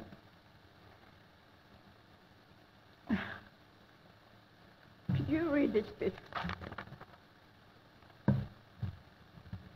Because I think you should. Thank you. But that's, is that in your statement that you're wanting to present? I'm not sure. I'll, no, I'll, I'll try and make myself. I got there one day and um, I went every day. And up at the end, was it a? No. You can't be here forever. Let's wait there. If it's in a statement, Ms Hoskins, it might be easier okay. if, if It's only you- when I talk if- no, about that's that. okay. It's very, very difficult. I understand. Okay, so But, but, but if the statement comes forward to us, we c- will have that. you can have it. And, and that will provide the detail perhaps It's of a what you're wanting to.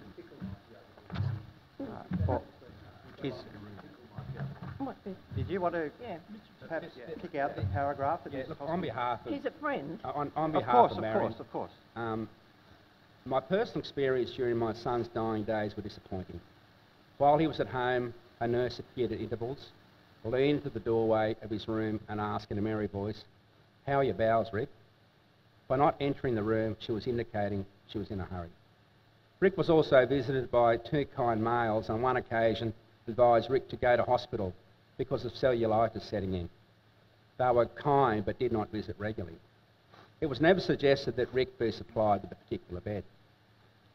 My husband was never visited by palliative care, or if so, without my knowledge. No. Yeah, Now, you'll never ask me again, will you? Um, the thing was, I got to the, I got there to the hospital, or to Coringle.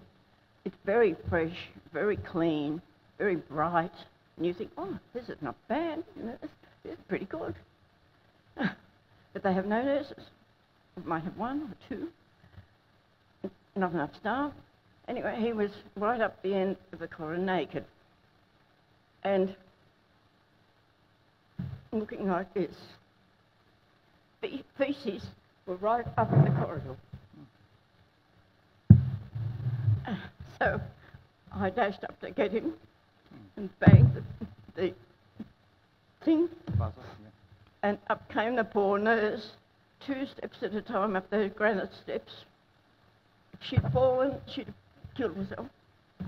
So she comes up three, two steps at a time, rushes in. He had walked past his ensuite, looking for a lavatory. Yeah, yeah. So ended up there trapped. So they, they brought him back and cleaned him up. Just imagine what they had to do. Yeah. And cleaned him up. And uh, then the other awful thing, perhaps you can't avoid it, don't know. Uh, the last few nights I stayed with him. And uh, two, two husky men in white coats, like something out of a horror movie, stopped him, turned him over, stick, stick morphine in, out they go. And he's so weak, he's trying to fight it, but can't. So after the second night of that, with no reference to me again, as if I'm not there, I then went out to the head nurse, or whatever she was, and said, Dr. Keegan authorised uh, morphine. What do you call it? A syringe Morphine. driver. A syringe driver. Morphine driver. Will you please? Driver for the pain Will you please control. put Yeah. that, you, you put that on? Oh, uh, in the morning. I said, no. Well, cut a long story short there, I'm shouting. Hmm. Finally they said, well, he can have it when the chemist brings it on his first round. But first, I went right down the track. He was going to come at the last round. The second last round. I, fight, fight, fight. So finally they put that on. And uh, so I think that was my last fight. Well, I suspect it's probably not your last fight, Miss Hosking. Uh, You strike me as someone who is a very determined and a very compassionate woman, and uh, we thank you very much for being prepared to share But can I say very personal. Pl- Please, yes. This will improve, me. uh, not improve me, but get my, the other side of me going. We are talking about a government up here, not here, that a government hates government. So it has a dilemma, doesn't it? So it wants to privatise everything, but it, it doesn't dare come along and privatise the, the favourite hospital in Taree. So it, it doesn't, it gives them bits. I'll change your name. You go and buy that MRI or whatever it is. Have a bit of this and have a bit of that. But what they really want is to get rid of the government hospitals. And they want to get rid of the government Medicare and they want to get rid of government health because they, they are, that's not their thing. It's like asking me to take on their, their attitudes. Well, what we might do, we, thank you very much. We might move to the questioning now. We've got a bit of a time constraint, in fact, um, which is no one's particular fault, probably mine as the chair. Um, yeah, it's always mine. Um, but Have I- listen, if, I- we can... Have I said the wrong thing? No, you've not. No, no, no. I'm, I'm blaming myself in all respects, Ms. Hoskin. Um, so if we do five minutes each, how does that sound? And uh, we'll see how we go. So that would five minutes for the... Op- I'll be very short. no, no, that's fine. That, we we just want to make sure we can get through this. So. Ms. Hosking, thank you, thank you for, for your evidence. It's very intimidating and very difficult to sit here and answer questions and address us, so thank you for sharing that with us. Thank you. Mr. Tickle, you made, you made mention about a clinical services plan. Now, I remember when I was Shadow Health two, uh, five, six years ago, there was talk of the updating the clinical services plan to put it in line with the needs of the community. So is there a new clinical services plan or not? Um, I believe that has been signed off, and my understanding is that the CEO of um, Hunter New England Health, um, Mr. Michael Di Rienzo, um, has kindly offered to um, present that to the key stakeholders who have given input into that document, which we, we certainly look forward to. Have you, have you or the community seen the Uh, document? No, no, we have not. Have you had input into the document? We, um, yes, the community had input into the document, um, and I was privy to, to part of that, um, that input, yes. Um, Now, what, what were the key recommendations that the community had? What did, what do they think is the key to improving? Now, let, let's call us, let's call, let, let's name the issue properly. Look, Manning Base is in trouble. So- Yeah, look, the, the community in, um, highlighted um, needs, um, certainly, and that's been called out by, um, by various speakers. Um, look, I, I will pick up on something that um, Dr. Simon Holliday spoke about earlier, and also um, uh, Dr. Roberts. There's a concept that which, which we, I, I, did meet with um, Dr. David Gillespie and, and, and his capacity as the Assistant Federal Minister for Health. And it's a concept around grow your own. And what we're looking at is where you have um, university attendees, whether it be nursing or whether it be medicine, to have some HECS discount, some indenturing, some bonding to bring them back to this, this area. Um, and, and that was something that I, I guess there was a change in the federal budget where there was some consideration of that, but it's, we certainly need to incentivise because the problem we have at the moment is the revolving door of, appoint, of appointments coming to the area and the disappearing. And picking up what, um, what Dr Roberts spoke about with VMOs, the, the, the VMO model that's worked in Port Macquarie, Coffs Harbour and has, and has served us well in the Manning area um, it needs to be encouraged. It needs to be incentivised. It needs to be some, um, I guess, incentive for, for trainees to work under the VMOs because if there's the revolving door of those in the public system, it needs to be picked up with the VMOs. And, and while there was one slip through with, with, um, with, uh, with Dr um, Gayed, which was really a product of someone coming from overseas and not properly vetted in the first place, the VMO model has been served this community well, and it's disturbing that that needs to be encouraged more, because I don't think it has been. And case in point is obstetrician and gyne- gynecology. Now, you made reference to a debate about a name change to the hospital. Yeah. Wha- What is, what is that? Oh, look, there's the public perception that, that calling us a Manning Ru- Rural Referral Hospital is a, is a downgrade, it's an insult. So the preferred name was Manning Base Hospital because we considered ourselves a base to serve this area, and that was preferred name has been renamed back to Manning Base Hospital. So what is it currently called officially? Uh, my understanding is Manning Base Hospital. Now, when it's a base hospital, it comes with certain levels of clinical care, is that correct? One, one would expect that, and it's been highlighted by other- other speakers, that you'd expect to have capacity for, for acute care. Yep. Do you feel that in fact Manning Base Hospital is a base hospital or it's a referral hospital? Look, it's, I believe it is a base hospital, but there's certain aspects at the moment, because of um, resourcing, uh, we need, need to re- refer outside. Um, Mrs. Hosking wants to add something, great. Can I have, I just, uh, just put my, am I able? Yes. All right. Uh, I was alerted to the, re- I, I saw all these changes. There, there, there was Manning Base, and, and that was just, nobody questioned that, and, and Manning Rural, and nobody questioned that.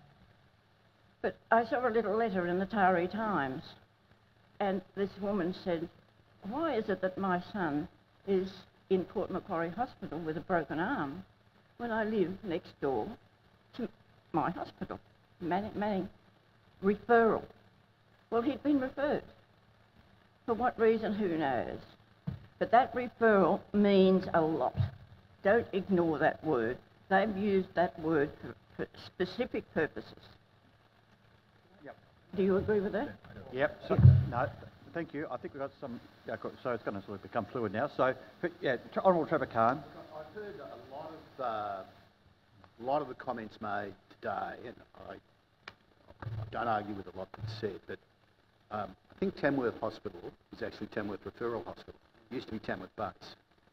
Um, and sorry, I'm 94, so Yeah. yeah, I will. I'll keep my voice up. So, so Tamworth used to be Tamworth Base Hospital for, for some few years now. It's been Tamworth Referral Hospital, and yet, in terms of Manning Hospital, um, some of the evidence today has been, in a sense, referring to the better services in hospitals such as Tamworth, rather than rather than at Manning. So I wonder if, with respect, too much concern is being expressed with regards to a, a name as opposed to its categorisation under the under the system that's adopted by New South Wales Health. Do you, do you have a view really in that regard? No. Oh, I'm very suspicious, as you can see. Uh, look, I you're don't think that's entitled to be suspicious. They don't put a name there for nothing. They, they think about that name. And, and so they referred my son to, to. Yeah.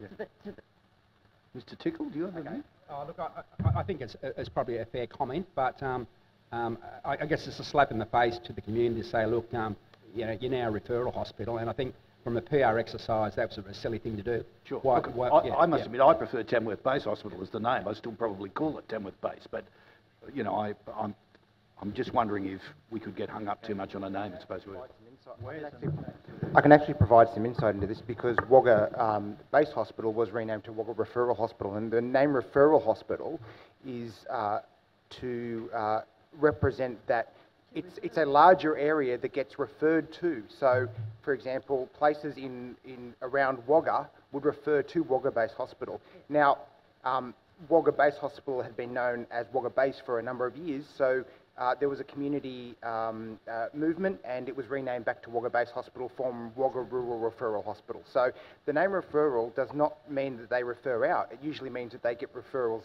in. So I'll just, I'll just address that one first, so I, that, that isn't a concern. That- but before that it was Manning Rural. Okay, so it went from, that's- that's- it's yeah. had three name changes. Yeah. Now, Well, while just- I've got the opportunity... Oh, hang on, hang on, no, no, no, come on, listen, that, that wasn't a question, that was providing I a was statement. addressing the... Well, yeah, no, but, but listen, let's, let's Okay, try and do come this. We, we we crossbench time, and then the government will have some Oh, time. sorry, I- No, I thought it was government, like, yeah, anyway. Uh, well, just, well, I'm just trying to, Yeah, no, no, no, no, I don't, but it- seeing with, I don't want to chew up crossbench. no, no, well, so cross, it to us. the crossbench, Then the we- crossbench can have let's, this. let's get stuck into it. Okay, thank you, thank you, Chair. Um, Ms Can I, Hoskin. can I uh, offer something else? Uh, Can I just say that, Yeah. what, uh, we- perhaps at the end, let's get the questioning done first, and we can Yeah, return to, okay. so hold that thought, so, Emma. Thank you. I, I actually have a couple of questions for you, Ms. Hoskin. Um, I, as I understand it, you yourself were treated at Manning Hospital about 20 years ago, and I wanted, Yes. I wanted to know how it's changed in that 20 years compared to what kind of service would be. Well, uh, I had my first hospital experience at Manning Base, or whatever, I don't remember the name. Um, and I couldn't find fault with it, I think. The only thing I did to, do I dare say this about my doctors? I, that's right, I had pain. So I went to Dr. A, the GP, hmm, looks like um, whatever it is I had. And so then I went and had an ultrasound, and the ultrasound man said, oh, no, there's nothing, it's only crumbs. Back to the GP, and he's, oh, crumbs are important, oh, yes. No, you better go to Dr. S. You've got to go to Dr. S, and, and he's, he will operate. So I go to Dr. S, and he says, yes, yes, that, that, that better come out, the gallbladder. So out came the gallbladder. And it wasn't long, much later, that I was at Kurrajong for the evening, for the weekend. And I had this terrible night of pain. So along came the ambulance, took me to Windsor Hospital, lovely Windsor Hospital, with an amazing surgeon there. I died twice that night, so he said, because I had a gangrenous appendix. I don't know if anybody here knows what that is like. It is ghastly. And 14 days, 12 days of vomiting, I think, after the operation. I don't, and I don't want to point the finger at doctors. I think I wouldn't want to be a doctor in a million years. I think it's the most frightful job. They're not magicians. They can't see inside you. So I don't blame doctors. But the system that holds the doctors up, the hospital, should be the overseer. Hmm. They should be able to say, well, we better look at that again. Do you think you really should be taking that gallbladder out? Perhaps it's something else. Or that woman's terrible stuff they did to that woman. But one question. So, Ms. Hoskin, I just wanted to ask another question because you know you're talking about that system, and and there was something in your uh, submission that I was really concerned about, and it's something that we've heard a bit of a pattern of here in this inquiry. You said that your son saw a gardener that was brought in Oh, yes. uh, to sit with a dementia patient and, and, and look after that dementia That- That patient. was one of the times he was in hospital, at Manning, at Manning Hospital. I think he came home again. He went and came home a couple of times, and um, it was lung cancer, and he'd had operations with cabinet cancer, and um, down in down at Wonderful. Now that's a hospital I call the Wonderful John Hunter. Whether I really know what I'm talking about, I don't know, but that's the way I feel about John Hunter. And um, so uh, what happened? Oh yes, so I went in there to see him, and he said, "You know what?" He said, "There was a demented man in bed next to me this morning, and they they had no staff. They got the gardener to come up and sit with him." there was no reason to tell me that other than just amazement. Mm. And I was amazed. And you know, really with Rick, I, I'm, uh, no, you're not going to, this is a very unpopular thing I'm going to say, but I'm not, I've volunteered all my life, but I don't believe in it. Because uh, it's all right to go and beat the pink lady and put the cream on the cake, yes. But we end up using volunteers and being ruled by volunteers. So instead of having, you don't have a volunteer army, you don't have a volunteer police force. So why should people go and risk their lives in the bush as volunteers or go into the hospital as volunteers? No. You, so we've got, I think it was volunteers that started the, um, you know, the, uh, the help during, during those, what's, what's it called? The help during the, your dying days. Palliative care. Oh, oh, I, I nearly said something like that in front of somebody, and I just about. that because they're very precious and they're very, uh, they own their particular model of volunteers. But it is, that is, you can't run a good business or a good hospital or a good school on volunteers. Okay, and that's we- what a lot of these governments are trying to do because it's cheap.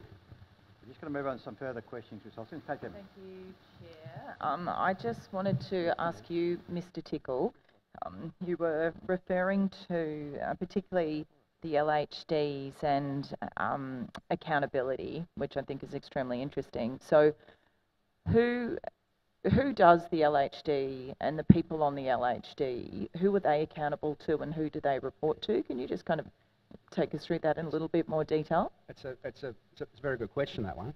Um, I, I was hoping that there's some, there would be some accountability um, to the public. Um, and you've only got to look at the trying to extract the current clinical services plan um, when it was announced to Parliament that it's been signed off on. They're trying to get a copy of that. Um, there's an issue there. Um, look, I, I, back to what I said before, I think it's a matter for the Parliament to ask that question through the, through the, um, the Department of Health. Where is the accountability um, back to the Department of Health? One would have expected that there's a, that, that a Premier's plan or the government of the day um, policy concerning regional health ought to be communicated, cascade down, benchmark, report back to make sure it's on track. I, I can't see evidence where that's occurring. So the answer, I, I haven't got an answer for that, but I believe the Parliament ought to ask for that and insist on it. Yeah, thank you. You also say in your submission, you point out that experienced emergency doctors reported this new regime of triage. Yes. Could you just explain, uh, expand further upon that as well? Yeah, look, um, just just by way of background, I've, I've had um, uh, for some years um, medical staff uh, and VMOs um, meet with me in absolute confidence because they re- the re- regime they're under and the threats for VMOs of complaining, staff complaining, the lack of, I guess, credibility or understanding of a, whistleblower, they were in fear of complaining or bringing out issues that, that, that concerned them with, with the running of the hospital. I, I guess the, the uh, uh, was, I, there's a Can I just ask, just for clarification, they came to you in your position as what? to Um, they, they came into me in my position as a community leader Okay. who had been agitating on behalf of the community. Okay. Now, to answer the question, yes, was pointed out by um, a senior clinician who had retired um, from emergency medicine. He said his observation is that what is coming out of the universities now, uh, which is adding to the cost and causing a, a bog down in process in emergency is that years gone by, the experienced clinician, clinician would take a history, they would interview the patient, they look at their observation and see if there's a repeat of what's occurring in front of them, of what had happened in the past, and then quite often make a diagnosis, do the treatment, um, and perhaps it may be need follow-up with their GP, and they would be they would be satisfied and out of emergency. Many times there's low socio-economic where they cannot afford to go to a GP, so they'll present with something that's fairly sim simple. What has been occurring is that the modern doctor will order a battery of tests um, unnecessarily, wait for them to come back, look at those results, do a, diagno do a diagnosis which is back to the obvious, chew up time, chew up expense, add to the waiting room, and, and finally that patient gets the obvious treatment that should have been in front by appropriate inquiry. That is his observation, and I respect that because he is a extremely experienced doctor in, emer in emergency medicine. So, sorry, I, I didn't mean to drop it on No, you. no, like that, but, no, um, no, no, I'm not. Uh, look, if my there's anything- concern is that we've got one more round of We do, yes, and we're going And I, I, look, I think that these witnesses have been very clear No, no. in their evidence. No, no. Unless anyone is compelling, I think I just wanted to thank um, uh, Ms Hosking in particular for coming and sharing your story um, and pass my condolences um, to you for um, um, for your loss of your son, but but also just for, for coming and being so open and frank with us. So thank you very much for that. Um, I think it's providing some really valuable insights to, to us. So thank you. Marion Hoskin is certainly a legend in our area. She got the OAM just quite justly, and she's been a, a, a wonderful warrior for, for women and women who have suffered at the hands of, of, of, of, of men, which we're all appalled with. But she's certainly a warrior and a legend and very respected in our community. Uh, and, and we can tell that, and that's why I just wanted thank to you very make sure I Thank you very much. And so thank you both very, very much. Um, and uh, I won't repeat the same words, but we are most grateful. We dismiss now, aren't we? Thank you so much. Thank you.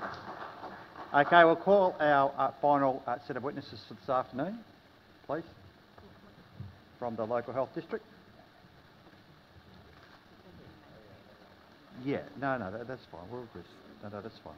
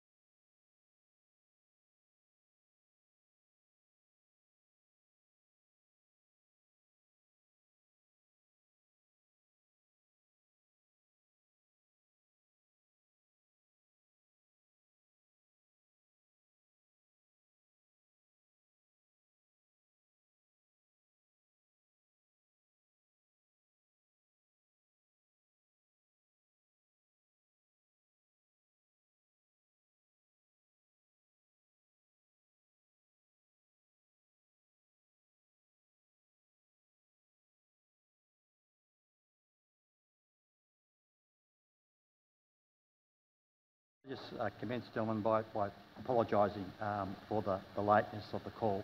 Um, I hope you don't uh, see it as disrespectful. We'll provide you with plenty of opportunity in terms of your contribution this afternoon. We understand it to be important, and I don't want it to be seen as uh, depreciated or diminished in any way by the fact that we're running a little bit late. So I do apologise uh, and accept responsibility for going over. But uh, we've had a number of uh, important witnesses today, and um, we just want to get through the evidence as, as appropriately as we could. So just like to say that up front. Um, so we'll just get through the formality first, which is the, the swearing or affirming of in with respect to your evidence. So you probably both know the drill. So it's the name, organisation or position statement uh, or position uh, and uh, the oath or the affirmation.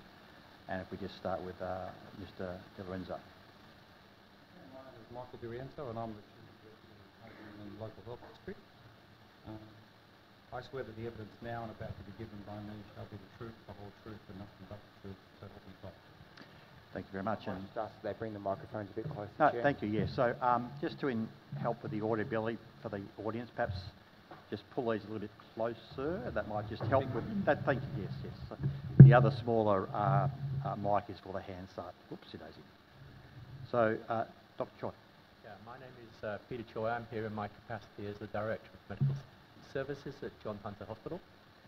I swear that the evidence now about to be given by me shall be the truth, the whole truth, and nothing but the truth, so help me God. Thank you very much, Doctor. So, as you'd be aware, uh, the uh, New South Wales, or the New South Wales government, uh, via the New South Wales um, Department of Health, have an omnibus um, uh, uh, submission to this inquiry, which stands as submission 630, uh, which um, I'm sure you're aware of, and that's been obviously accepted and stands as a submission to the inquiry. Um, and committee members have, have, have seen that and studied it and are aware of its content. Um, so I invite uh, an opening statement uh, from, from yourself um, uh, and keep it within a reasonable period of time if you don't mind, a few minutes, five minutes so. And then if you're agreeable, we'd open up for questions around the table. So does that, does that suit you both? Yeah, of course. Great. Well, th thank you very much and we'll get underway with the opening statement. Thank you. Um, well, thank you, Mr Chair. And uh, first I'd like to acknowledge that today we are meeting on the land of the Biripi people and pay my respects to elders past, present and future. On behalf of the district, I acknowledge the importance of this inquiry for our rural and regional communities, which in Hunter New England Local Health District we have many. Um, they are asking us to hear their stories and learn about their individual experiences and we're committed to listening and learning. Our staff work hard to ensure that people living in rural and regional and remote areas of the district have access to quality clinical care and experience the best health outcomes possible. Our staff have strong connections to the communities in which they live and are dedicated to providing the best care they can to their patients. Despite this commitment and a number of strategies employed over many years, we continue to face challenges securing the necessary clinical workforce for our large and expansive district on a daily basis. I know that we are not alone and that attracting and retaining the required workforce, especially GPs, to rural and remote locations is a problem being faced across the country. Today we have heard many people talk about their challenges, accessing care and medical workforce issues in our regions and I appreciate the bravery and the candour of those appearing as witnesses. While in most cases I believe that people receive quality care and good outcomes, I know there are occasions when this is not the case. If we as a health service have let you down, then I truly am sorry. Please know that your personal experiences matter to us and as a district we have a strong culture of inquiry and accountability and ensuring that we learn from every missed opportunity or adverse outcome. Healthcare is a whole of system responsibility and as a district we are committed to working with the federal government and primary healthcare providers to build a more sustainable medical workforce in our rural and regional communities. I generally hope this inquiry assists us in achieving this goal and I welcome any recommendations forthcoming. Uh, finally, I, have prepared uh, some information about the environment at Taree and at Gunnedah, because I believe you were there earlier today, that I'd like to table for the committee, and, and, I've got copies available for everybody. Thank you very much. I find the committee secretary can thank you so much. Uh, well, thank you for that opening statement, and, um, and uh, I acknowledge the, uh, the, specific comments you made. I appreciate that very much. So we'll get underway with the questioning. Um, uh, so as I said, we're not going to uh, cut this short because it's very full witnesses this afternoon. So um, we were scheduled uh, to finish at 6.30 on the presumption that we were actually going to be starting with yourselves at 5.30, which obviously did not happen. So we're going to go beyond 5.30. Uh, but what we'll do is we'll just, we deal with uh, tranches of questions and say, what, 10 minute blocks or would you like three 15 minute blocks? Yeah. We'll, we'll get through three 10 minute blocks and then we'll see where we are and then we can move into a second tranche of, of blocks, okay? So, we'll, people agreeable to that? Okay, we'll, we'll start with the Honourable Walt Secord. Um, Thank you. Why were the nurses protesting today outside um, Manning Hospital? My understanding that the nurses today outside Manning Hospital were protest, protesting against, it was a statewide uh, dispute uh, that they're having currently with New South Wales Government around uh, nursing ratios and, uh, and pay rates. It so wasn't, it wasn't specific... Uh, it wasn't specific to your... So the evidence we heard earlier today was incorrect? No, I can only tell you that uh, my understanding is that they were there today, but the issues that they're um, making comment about or, or, trying to bring to the community's attention are a statewide issue, not a, a local. Oh, so there are no problems at this hospital? Sorry? So there were, n- so there are no problems at this hospital? They were I, I not didn't say that. I, I didn't say there are no problems. I'm saying that the purpose of their action out, outside the hospital was a statewide action around uh, nursing ratios, Yep. and of course the the recent uh, um, pay that uh, pay rates. Now, you, um, you, you made reference to Gunnedah and, um, Manning Hospital. Now, um, why are there, um, oh, how many operating theaters are actually, um, in Manning Hospital? Uh, Manning Hospital, um, I believe five. Yep. Five. Are all five, um, in use at all times? At the moment, they are. Yes. Has that been the case for, uh, for a number of years? Sorry. Has that been a case for a number of years? It depends what you mean by a number of years. Is the, the operating theatres are there to provide the activity that, that's required. So at the moment, the hospital is uh, uh, doing a, a marvellous job in, in uh, meeting their uh, activity targets. Uh, if you're aware, uh, during COVID, unfortunately, we were unable to perform a number of elective surgery, and uh, we have been uh, diligently across the district, and, and this hospital in particular, has done its very best to, to catch up basically on the fact that we were unable to do elective surgery. And as at the end of uh, June, we believe that the hospital will have achieved its targets of having nobody waiting outside of its clinical timeframes for, for surgery, which I think is a, is a, a very good effort by all the staff. How many hospitals are in the Hunter New England LHD? Um, look, at the top of my head, I, I, I think the, the word hospital is a bit, bit challenging. We have a, Okay, a, a huge hospitals, number. MPSs, how many, Um, how many facilities are you in charge of? Quite a few. Quite a um, few. You Quite a few. You don't, you don't know the exact number?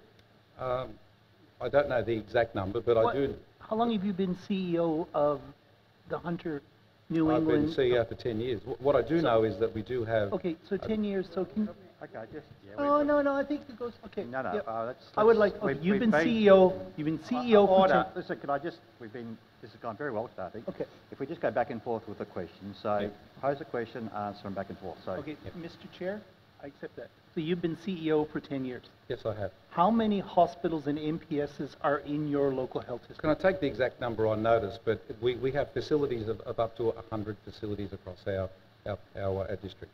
Up to 100 facilities? Yeah. Why would you say up to 100 facilities? So you're including MPSs? Yeah, we, we have, uh, we have uh, if, if I can help you here, we, we have three tertiary, tertiary referral hospitals. Yep. We have a number of, uh, we heard earlier, rural referral, referral hospitals, which uh, one has now been changed to, to uh, being referred as a base hospital with basically the same role delineation as a, as a role, uh, as a rural referral hospital. We have a range of district hospitals, we have a range of community hospitals, we have a range of MPSs, we have a range of community health services, a number of outreach services, we have uh, a number of remote health services. So I do apologise. The, the, the number is, is a large number. I don't know the, the exact number, but I'm happy to, to, to Can I ask you a question? Why do you not know the exact number? Is it because it changes? Does it, does a hospital suddenly close and reopen? Chair, I want to take a No, point no, of no, order. this I'm is a fair take point of question. order. I'm going to take a point of order Well, there. uh, well, we'll stop the clock, so point of order, yep. That, that, it seems to me the line of question was reasonable, but go on. No, no, well, Chair, um, the witness has already taken it on notice. He's provided an- an explanation as to why he's going to take it on notice. Uh, for the Honourable Walt Secord to continue down this uh, path of questioning is only wasting his time, but also it's badgering the witness. And he's, he's actually got, there's a procedural fairness resolution that we've all got to adopt. I. So I'd ask the Honourable Walt I Secord to take move the. Honourable Wes, Wes Fang's point on notice, takes point, Wes, Wes's point, and Mr. Di Lorenzo, yes, you can take the number of hospitals and medical facilities that you're in charge of, the exact number, on notice. Well, I mean, I, I- want to intervene here because I'm, I'm quite unclear about this. The question, the question Okay. started off with hospitals, um, and then you, you went through and Yep. you named a number of establishments, if I could describe it that way, or facilities, and then towards the end you added in community, et cetera, et Yeah, because we provide a, a wide range of services. Well, yeah, so there's emerging, uh, so you need to be clear about what the question on notice is for the purposes of actually answering. Okay. So it goes beyond bricks and mortar to other things. Is that what you're actually asking for in terms of? I would like both. I would like to know the number of facility, number of hospitals, MPSs, and facilities that you're in charge of. Okay. I'd like to move on. Now, Dr. Roberts gave evidence earlier involving um, Dr. Emil Gayed. Now, you've been around for 10 years, Yes. so 10 years. um, he gave the impression that the local health district had said, okay, let's put that in the past. That was the impression that he gave. Now, in fact, what about the ongoing treatment to those women who are still living in the community? And what is the status of the cases before the local health district? Yeah, again, um, it's been very, it, it's been a very sad situation for those women, and uh, and again, um, apologies for, for what they've gone through. Um, we are continuing to provide support to to those women. I think you heard Dr. Roberts say that he is still treating some of those women in his outpatient clinic. So I can give you a firm commitment that the district and Manning Hospital is continuing to care for those women, and we will continue to care for those women. Now, I understand that there was, there was some movement to do a class action suit against the local health district from those women. Is that correct? I'm not- aware of a class action against the local health district, no. Are you aware of any legal proceedings or malpractice suits against the local health district? Not against the local health district, no. No. Okay. Now, you said that there's around 100 services in your local health district. Does telehealth play a role in those facilities? Yeah, telehealth plays a significant role in, in our facilities. Um, a very important role, and uh, it's a role that actually complements and actually uh, assists patients in not having to travel unnecessary distances where it's appropriate. Yep. And also assists in, in us having clinicians who don't spend uh, uh, time travelling while they can spend more time actually providing direct clinical care. Are there certain things that you say are no-go areas and you don't do them on telehealth? Or if you're in an MPS and you're a nurse on a weekend, there's no doctor, do you just, you, telehealth is, is the way to go? No. Um, our, our telehealth system is, is about providing that complementary care and care where it's appropriate. So if you take the example you're giving of, the, of an MPS, Yep. well, the MPS is that uh, we roster a, a doctor to be available to that MPS or to any of our, our hospitals in our rural areas. If, if we are unable to have a doctor on site, then what we do is we then have the system of a telehealth system where we have a doctor who is available to provide that assistance. Okay, so of the around 100 services, hospitals, and everything that you have Yep. under your purview, Yep. um, last weekend, and if you don't know this now, you can take it on notice, Yep. how many of those facilities relied on telehealth and had no doctor on premises? I would have to take that on, on notice. So, yeah, I'm, I'm better off taking on notice. No, no, no, I am. Uh, do you, does your local health service rely on telehealth frequently on weekends involving MPSs? Uh, not frequently, no. Not frequently.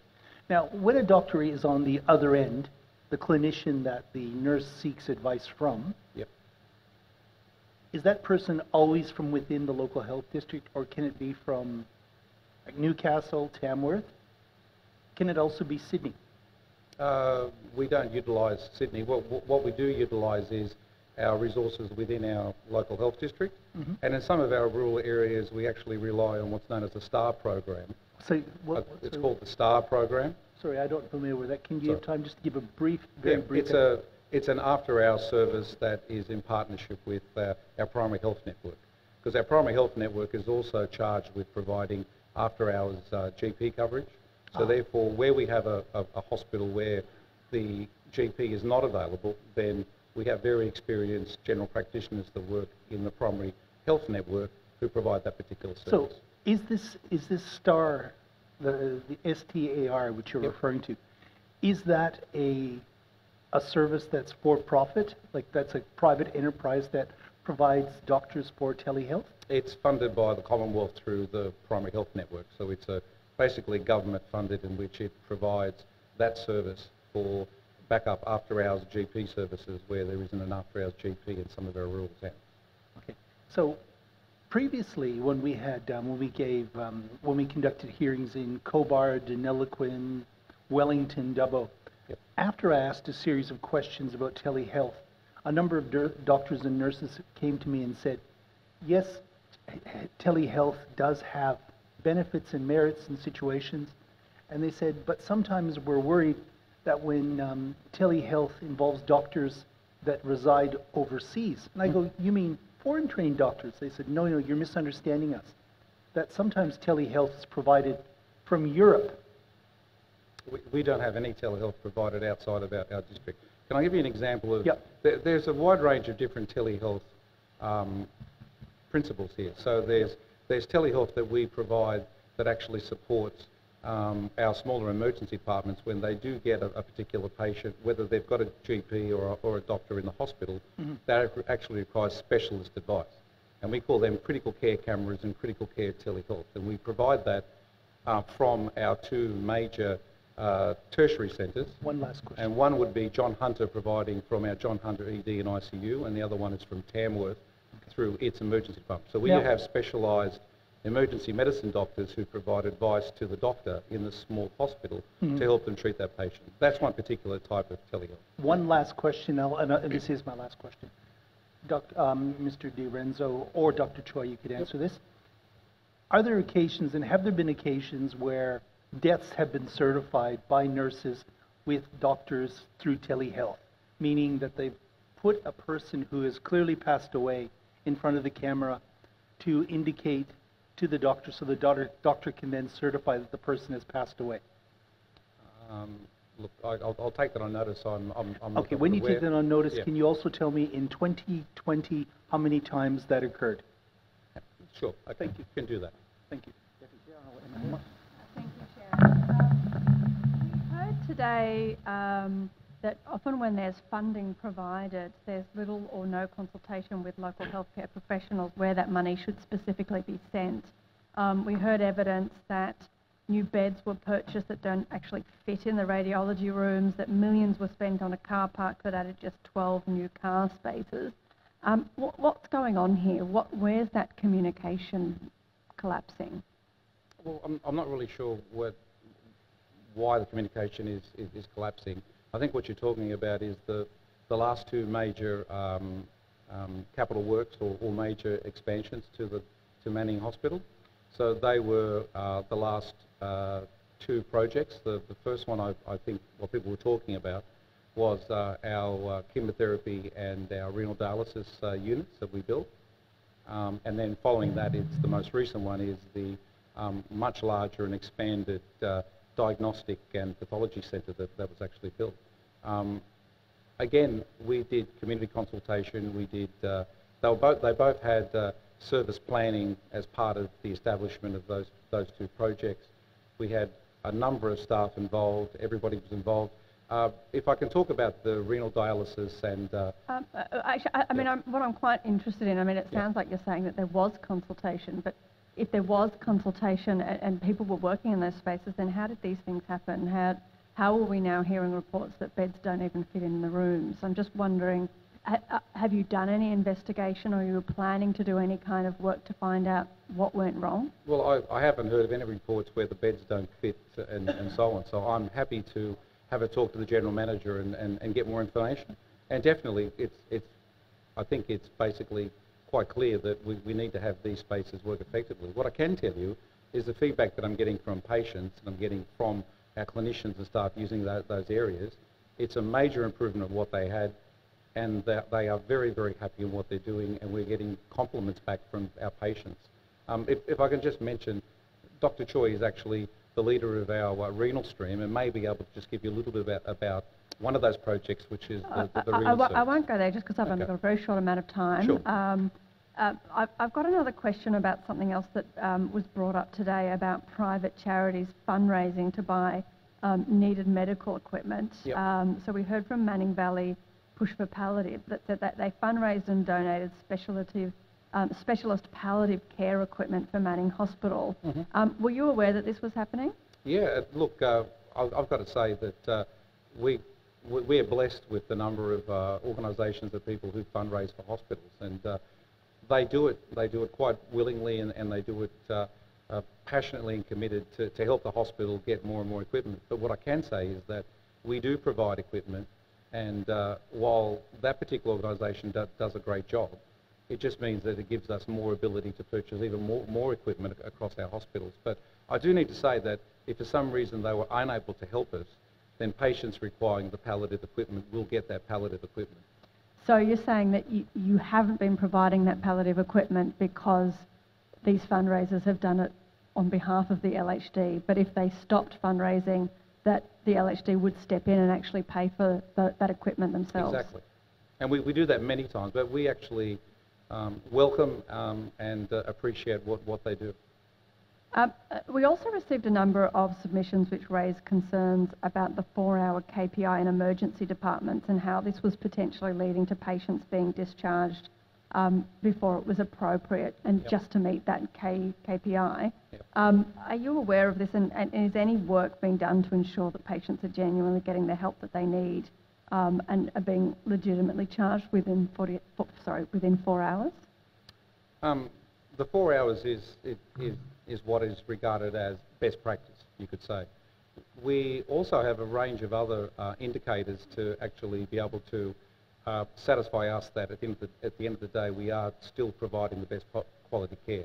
Those other indicators are not indicating in any way that if patients are able to be discharged or to be um, um, discharged from hospital or to be admitted to, admitted to hospital, that the four hours is, is creating some form of quality issue or safety issue. Just recently also at, at Manning Ba- Base Hospital, we looked at some of that activity and we undertook uh, an internal review of quality and safety within um, the emergency department and we discovered that it's performing extremely well and there's some areas for improvement that we're working with our clinical staff to actually address. Thank you, Um, Mr. Di Rienzo, just going back to the evidence we heard uh, this afternoon by Manning Valley Push for Palliative in terms of your responses just then to my colleague, Yep. that doesn't seem to match with respect to the evidence that they did present today, that it's far more, um, more like the fact that they, they have assessed that there aren't essential services being provided in terms of palliative care and hence they're needing to raise the money for it. I understand that, for example, they have had to co-fund for six months a palliative care clinical nurse consultant position. Mhm. Sorry, I, I was referring to equipment when I was making tho- those comments because I believe the question was around palliative care equipment provided to. They also said in their submission, let's stick to equipment then. Yeah, sorry. They also said in their submission that in order to have an adequate and accessible Yep. supply of essential items, the community has had to source and buy its own. Yep.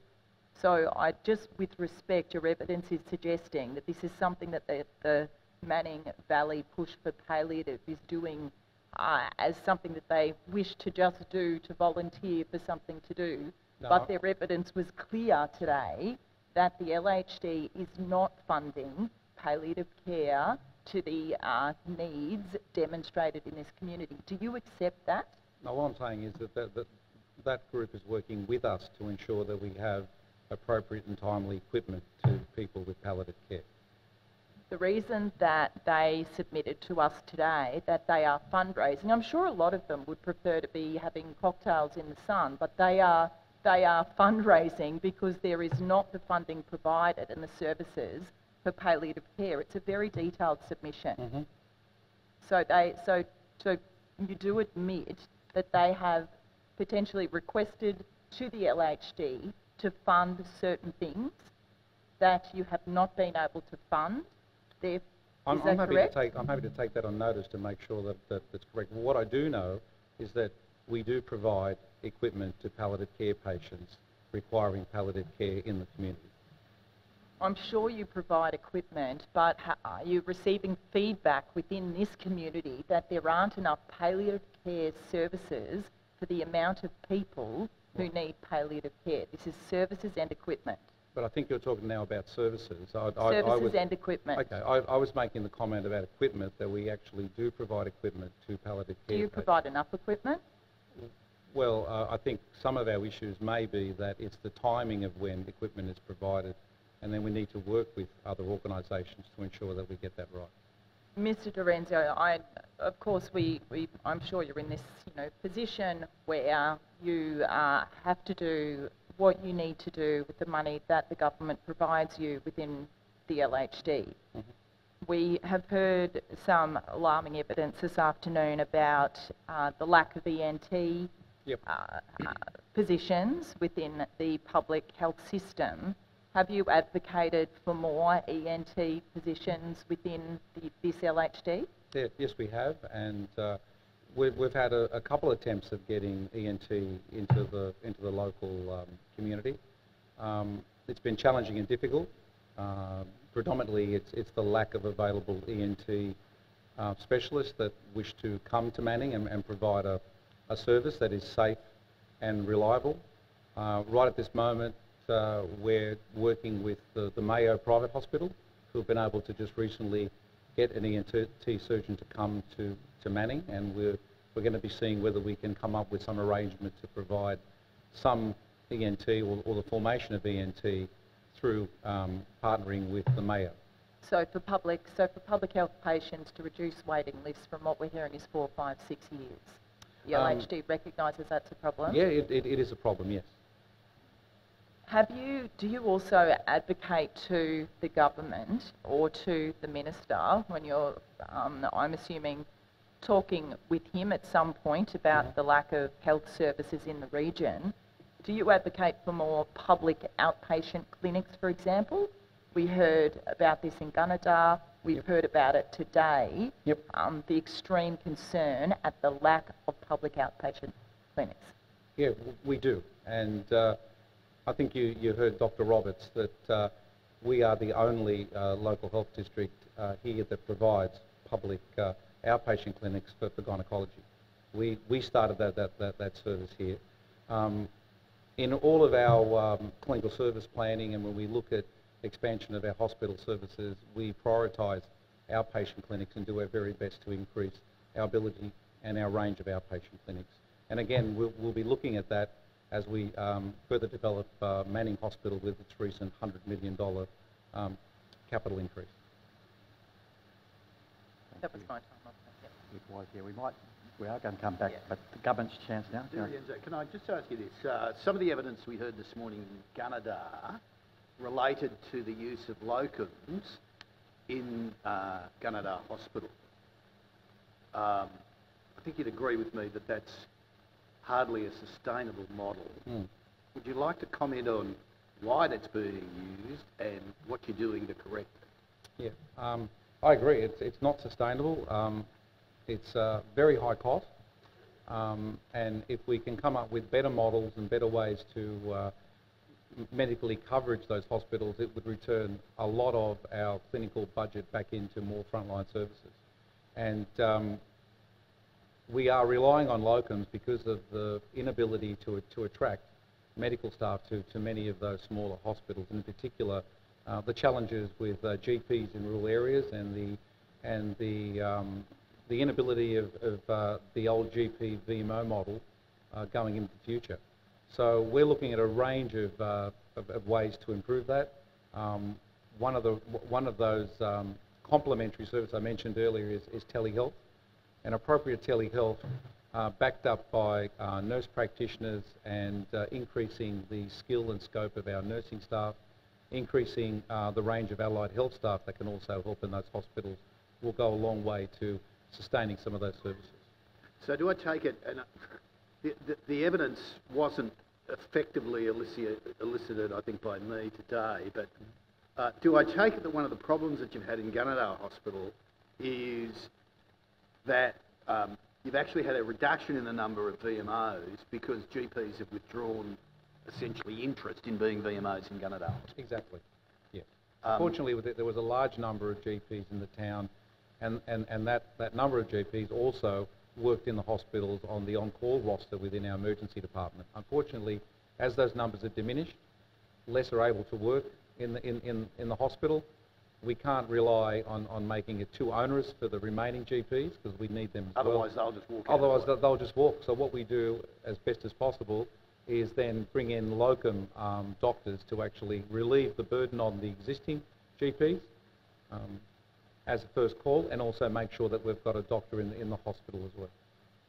So we heard some evidence by, I think it was Kate Ryan, a nurse practitioner. Right. Um, I'm not trying to put you on the spot, but she, uh, uh, in a sense, uh, put a, uh, I think you could say, a business case for the use of nurse practitioners particularly in the area of um, diabetes, um, and that that be an outreach service into Gunnedah. Mhm. You know, I'm from Tamworth, so uh, I'm interested in are you attracted in terms of the prop- proposition of nurse practitioners? And I suppose the second question is, is where do you get the nurse practitioners from Mm. if that's going to be the model going forward? Yeah, um, it's a challenge in itself. So the answer is yes, um, of course. Um, and I, uh, Hunter New England has the largest number of nurse practitioners across any other local health district. And uh, um, Well, can I, again, can I just stop you there? Yeah.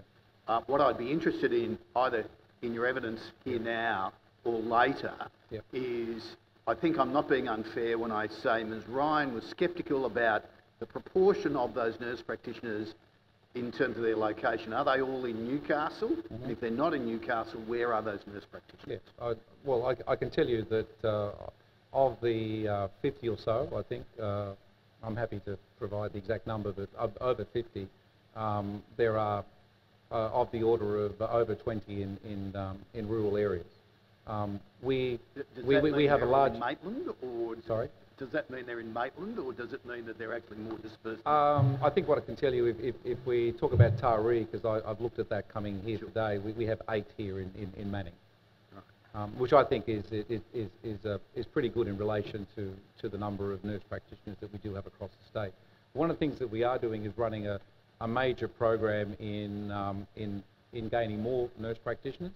The challenge, of course, is a bit like getting specialised medical staff, because we're talking about now specialised nursing, and uh, when we can't get a nurse practitioner, we actually do our very best to upskill a, a registered nurse to provide not all those elements that a nurse practitioner can undertake, but, but try to upskill and get some of those, that, those additional qualities that, that we do need in nursing in some of our hospitals. All right, now my final question really goes to what I think is the elephant in the room, and particularly this room, but it really uh, applies across the whole Hunter New England system. And that's really the question of uh, essentially the, um, the provision of network services. Why are you doing some things here or not here? Why are you doing them in, uh, in Newcastle? And I think I know that part. Why are you doing some things in Tamworth and not doing others? I, I, I want to understand what the rationale for your model is. Look, I, I could spend the whole evening talking about it because You um, might it- given it- that opportunity. It, so- it, no, it, it, it, it, it is critical to the way that we provide services across our district, and I believe it's critical about how we should be providing services going into the future to ensure that smaller hospitals and communities get, get access to those specialised services that I think you've been hearing are very difficult and challenging to, to, to be able to, one, um, attract and then sustain and then more importantly grow. So could, could I just pass, pass that question on Yeah, to I- I Dr. thought you Peter might, Choi? And the only reason, the only, re- no, sorry, there's a lot of reasons, but what I mean, Peter's actually a leader of one of those networks, so it'd be good to come from one of the, our clinical leaders on, on how they work and why they're important. Okay, y- y- Thank you. Um, I'm grateful for the question. Um, I mean, I guess by background, I'm a kidney specialist and a general physician, and most of my working life has been around organizing networks for what is a highly complex uh, and expensive skill to be able to provide it on an equitable basis um, in all the areas that I'm involved in, and that's been here and also in the UK. Uh, And this, I think, in terms of the issues that we've been discussing, speaks to two things of great importance. One is the issue of retention of medical staff in rural and country areas, and the second is the safety of the clinical services that are provided. The basic um, balance, if you like, the payoff is between having all clinical services locally provided against the understanding that there are many services that require scale, expertise, and patient numbers. And that becomes more and more of an issue the more technical and specialized the area of medicine that you provide. This is not an issue that's unique to Australian medicine. It preoccupies the NHS. It preoccupies all public health services. Um, what the evidence shows is that in some situations, local services are helpful but very often local services can't sustain the infrastructure or the patient numbers for staff experience to provide a fully functional service. And that's a really important thing because there's no, we've already heard today about the implications of employing someone to do a specialist skill that the facility could not provide. We've heard that very clearly and we've seen the consequences of that. So these are not small issues and it, in, for me it's the nub of the whole, the whole focus of this inquiry. So to answer your question, each network for each specialty has to be organised um, depending on the locality, the services available, the staffing that's available, and the specific service that's provided. But I can give you an example of the service I know most intimately, which is the, um, the nephrology service of Hunter New England. So there are aspects of nephrology that are highly complex, so transplantation, um, highly, highly specialized services that can only be provided in Newcastle. Uh, and we provide those services with a view to how we can sustain um, patients from more distant areas, from country areas. And then as we get to services that are less technical, that, um, that are able to be um, managed at a local level, then we work those through. And So that's why we have a renal unit in Taree. That's why we have a renal unit in Tamworth, and we have a network of community dialysis units. They're not managed in isolation by the local hospital management. They are managed as part of a network within Hunter New England, so all of the specialists can support each other in terms of their professional development, in terms of, again, the issue that we talked about today, the audit and the monitoring of their activity and the outcomes of their work. Um, so that I can tell you, for instance, that we um, network a specialist unit in Taree, as we've had, as we've done, we know that the outcomes there are safe because we're networked. Um, I could go on. I'm just wondering if I should stop. I, well, I don't look, know if I've I think you're going to have another chance to reboot after another round. So. Uh, now, can I just jump in with a couple of questions uh, before we commence the new round? Um, uh, yeah, we'll do. Um, do you want to do another five each, another ten I each? reckon, it, well, Now, we got all night. No, within reason. I mean, do you want to do an? No, no, no. Okay, we understand that uh, it's been a busy day. Did you want to allocate another ten minutes each? look, I, or? I, look, I think that the government and the crossbench, sorry, the opposition and the crossbench is entitled to their full amount of time. So um, we'll see how we're going in terms of the government. Yeah, yeah, yeah. No, no, no. I, I've got no more apart from. Okay, well, um, okay, well, let's uh, let's do 7.5 minutes.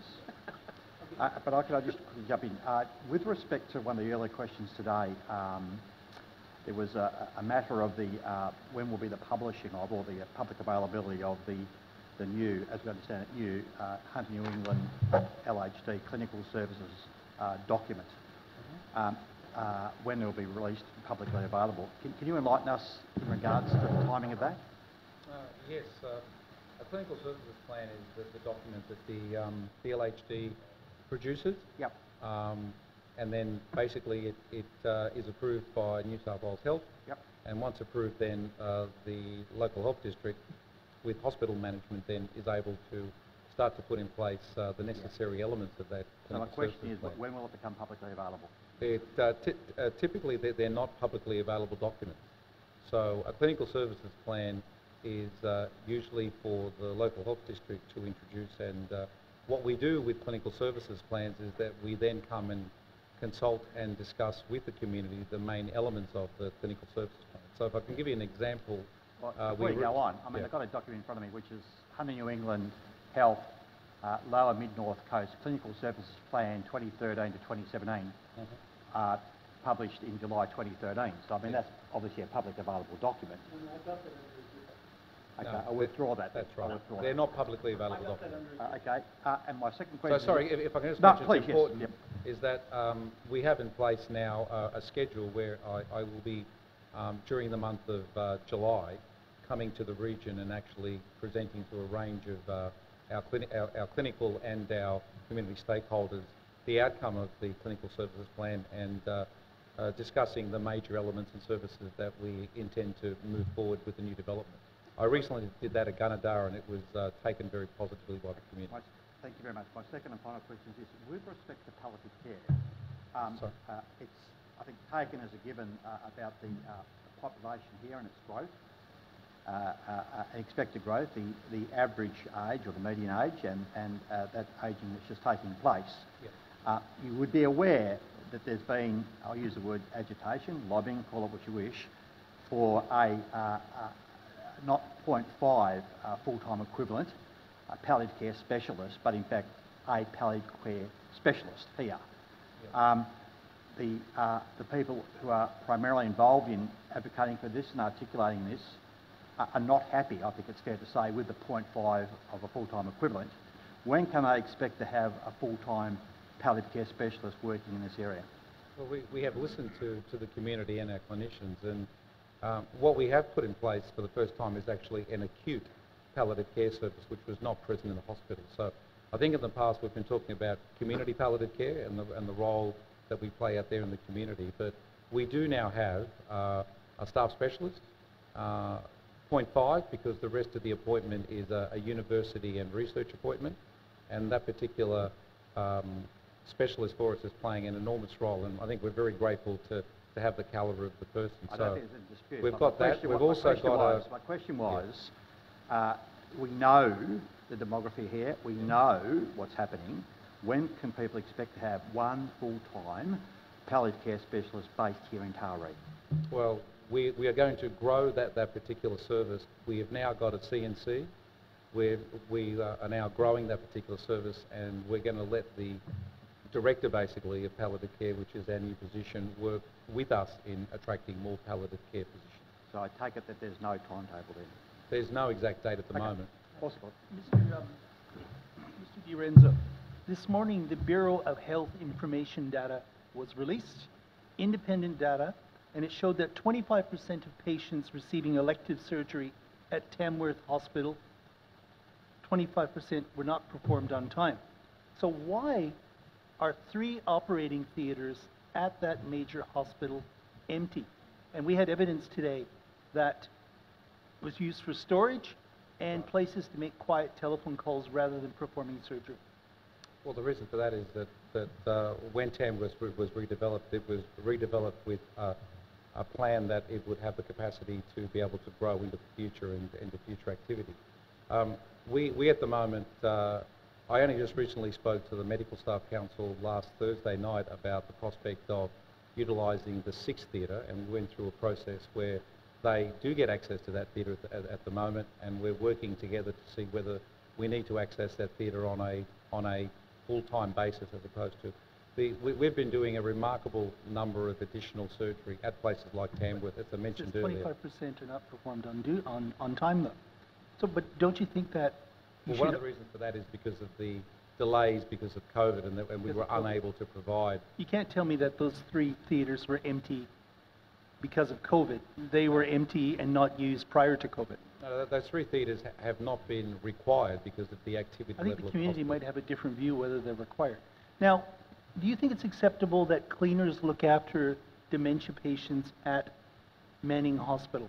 That I don't believe cleaners look after dementia patients. Well, that was at the Manning evidence we received earlier Well, today. I'll, I'll need to follow that up, but I don't believe the cleaners do, do that, and if they were, I, I would know because I, I would assume that um, the cleaners themselves would want to take, that, bring that to our attention. Okay, now, well, the, if you're going to take, if you're going to investigate that. Now, nine out of 18 beds in the emergency department are funded, half. So what is the, what, what is happening with the other? Well, that, that's actually not, not correct. Uh, That's not correct either. No, That's- it's not correct. The, the, the funding of the emergency department is based on the activity that goes through the emergency department. So Mhm. it's funded on the patients that go through the, the department. There are no treatment spaces in the emergency department that, that, that are closed, not being utilised. Do you use short stay units in Tamworth Base hospital to get around the four-hour emergency department bench? Mark? There is a, there is an, the, the emergency short stay units are a model of care in all of the uh, emergency departments that have the ability to put that particular So model of the care answer in. is yes, you do use No, the them. answer is no. The answer is, oh, you don't use short stay? No, we Tam- use short stay un- units as a model of care in emergency departments. So yes or no? I'm not sure what the question Well, was. the answer was very clear. Do you use short stay units in Tamworth Hospital to get around the four-hour benchmark? Not That to, is get, not to get around the four-hour benchmark, not at all. We, Do you we, use them, yes or no? you know, we use emergency short-stay units as a model of care in our emergency departments to provide the highest possible level Dr. of care. Choi, you're a medical professional. Do you use short stay units? You don't use them? We, we use them, but we use them for appropriate clinical care, not to fiddle the figures, uh, which I think is the question. So what do you use them for then?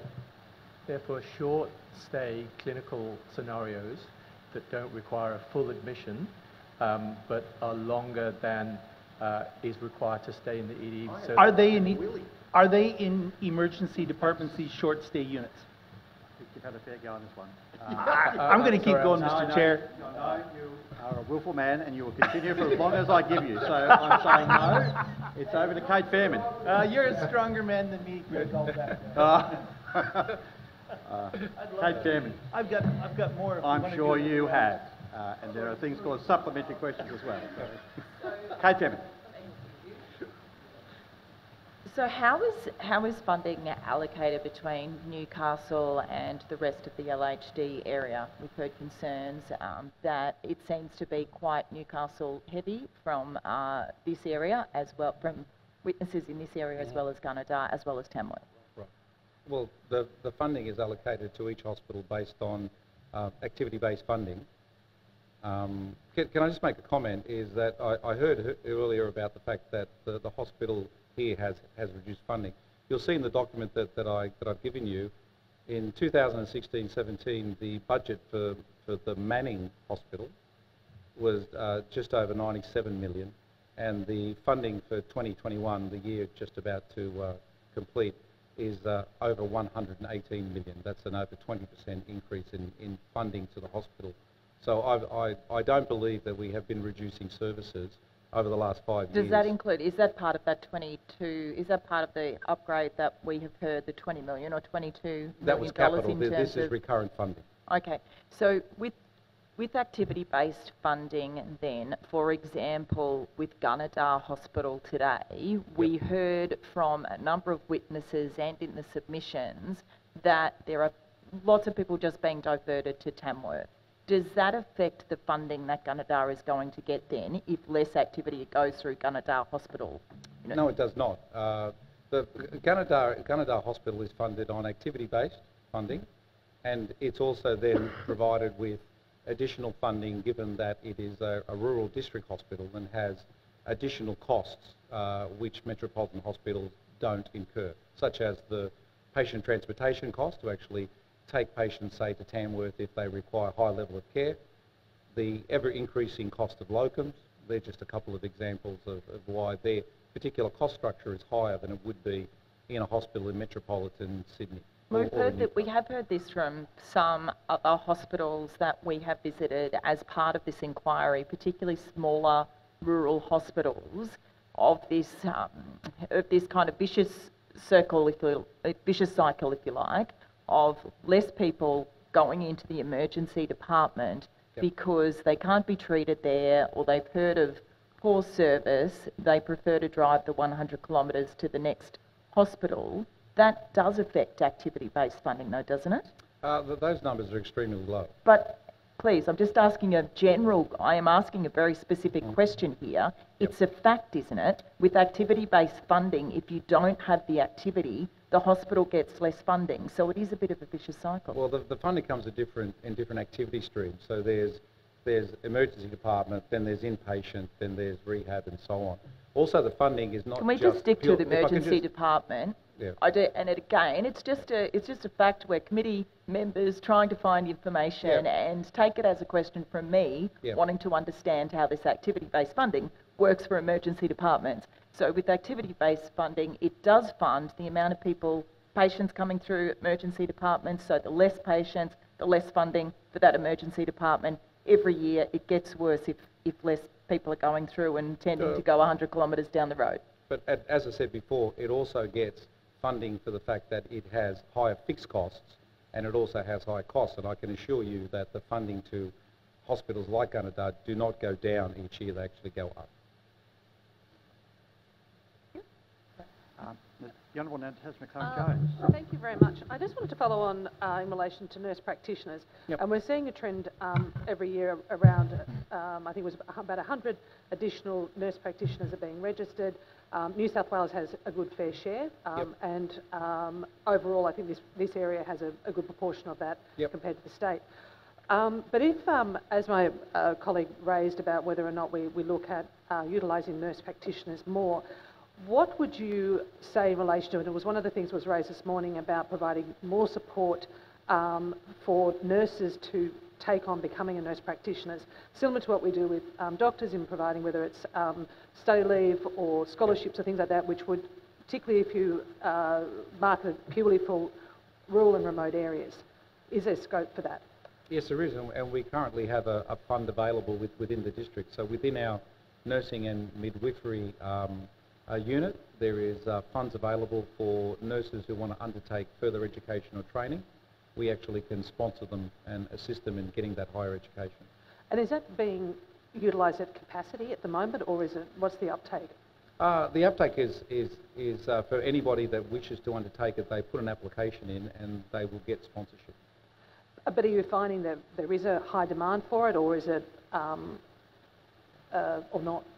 Um, we, we, find that it, it, it fluctuates. Um, it really depends on the, at the, um, the, the, the registered nurse usually wanting to undertake that particular type of program. Um, it's quite um, a, a challenging program to undertake, Yeah. a nurse practitioner. So we, we promote it heavily and then we also provide that, that assistance in that further education. The other question um, before I hand on is in relation to bed numbers. Now, it was raised this, uh, this afternoon that um, the, the number of uh, beds um, here is less than what it should be. Um, first of all, I just want to know what the numbers of beds are, and secondly, whether or not they're at capacity or fully occupied. Yep. Um, well, I've, I've got that information for you in that in, in that uh, particular information. So, on um, on bed numbers.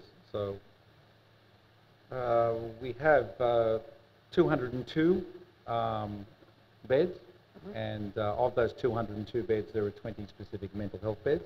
And I can tell you that uh, right at the moment, um, those beds are, are basically fully occupied.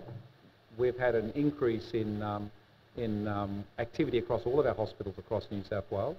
And Manning, um, like all, all the rest, has seen an increasing number of patients requiring admission to, to our hospitals. So at the moment, uh, in talking to, to the general manager, we're, we're basically um, at nearly full capacity, and uh, we've been opening up what, we call our surge beds, which is basically our seasonal beds. So what we have across the year is we, we, we know, and it's quite predictable, that during of, of onset of winter and winter, there's going to be more reliance on the hospital with our, with our ageing population. And of course, as we get into the summer months, there's re- less reliance on inpatients.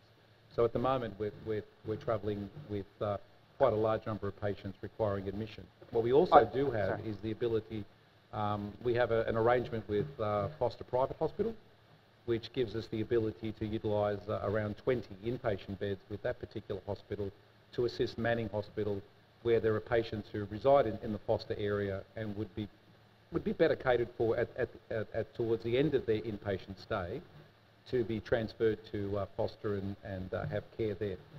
And, Can- uh, and sorry, some patients uh, are prepared to utilise that. Uh, Dr. Choi, I just wanted to um, touch on uh, some of the points that uh, the Honourable Walt Secord was uh, questioning on earlier around telehealth. And um, we've seen a lot of this political attack on telehealth. Um, but, you know, there was been, there's been a, a, a run of questions in previous hearings around um, the provision of telehealth and, say, for example, the doctors being overseas.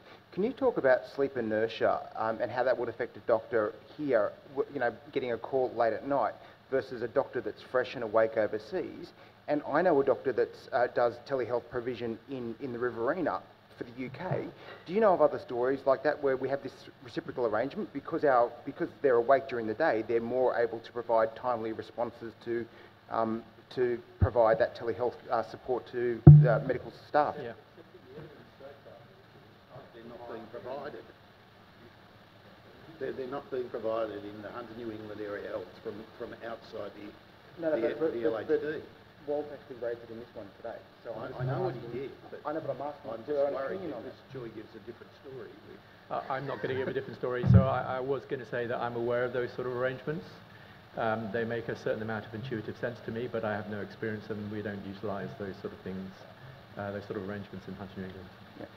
Um, accepting that, but you, you do, um, you have heard of, uh, say, colleagues in Australia that provide that reciprocal help where, uh, you know, late at night um, in the UK time, it's, you know, obviously daytime here and doctors are more awake and, and the sleep inertia issue isn't, isn't a factor there. Yeah, and, and the other scenario in which that um, arrangement works is uh, radiology reporting. Yes. Thank you. Uh, Look, uh, just uh, uh, a couple of things. Obviously, it goes back to you, Dr. Choi, really, with regards to the network services. Can you explain to me the issue? There's clearly, in the evidence that we've received today, as you're aware, a push for expanded cardiac services in this area. Do you want to just address that issue why we are at where we are at uh, and why you say, I assume, this is the best model of care? Yeah, look, I think it, it, it comes down to a very careful consideration of uh, what is the best network to run for a particular area. In the context of uh, cardiac catheter lab, we know that that's um, a highly specialized skill that is not reliant on a single specialist. Let's be clear about that. It's reliant on um, having specialized um, technicians, having the correct nurses. We know that if you don't put that together in the right configuration, then your outcomes are not going to be good. So really the model of care that you have to use in terms of discussion is you have to get everything else in place uh, and, and, and, work iteratively. I mean, these are not one-off discussions that we're having. I mean, none of these things are set in stone right now.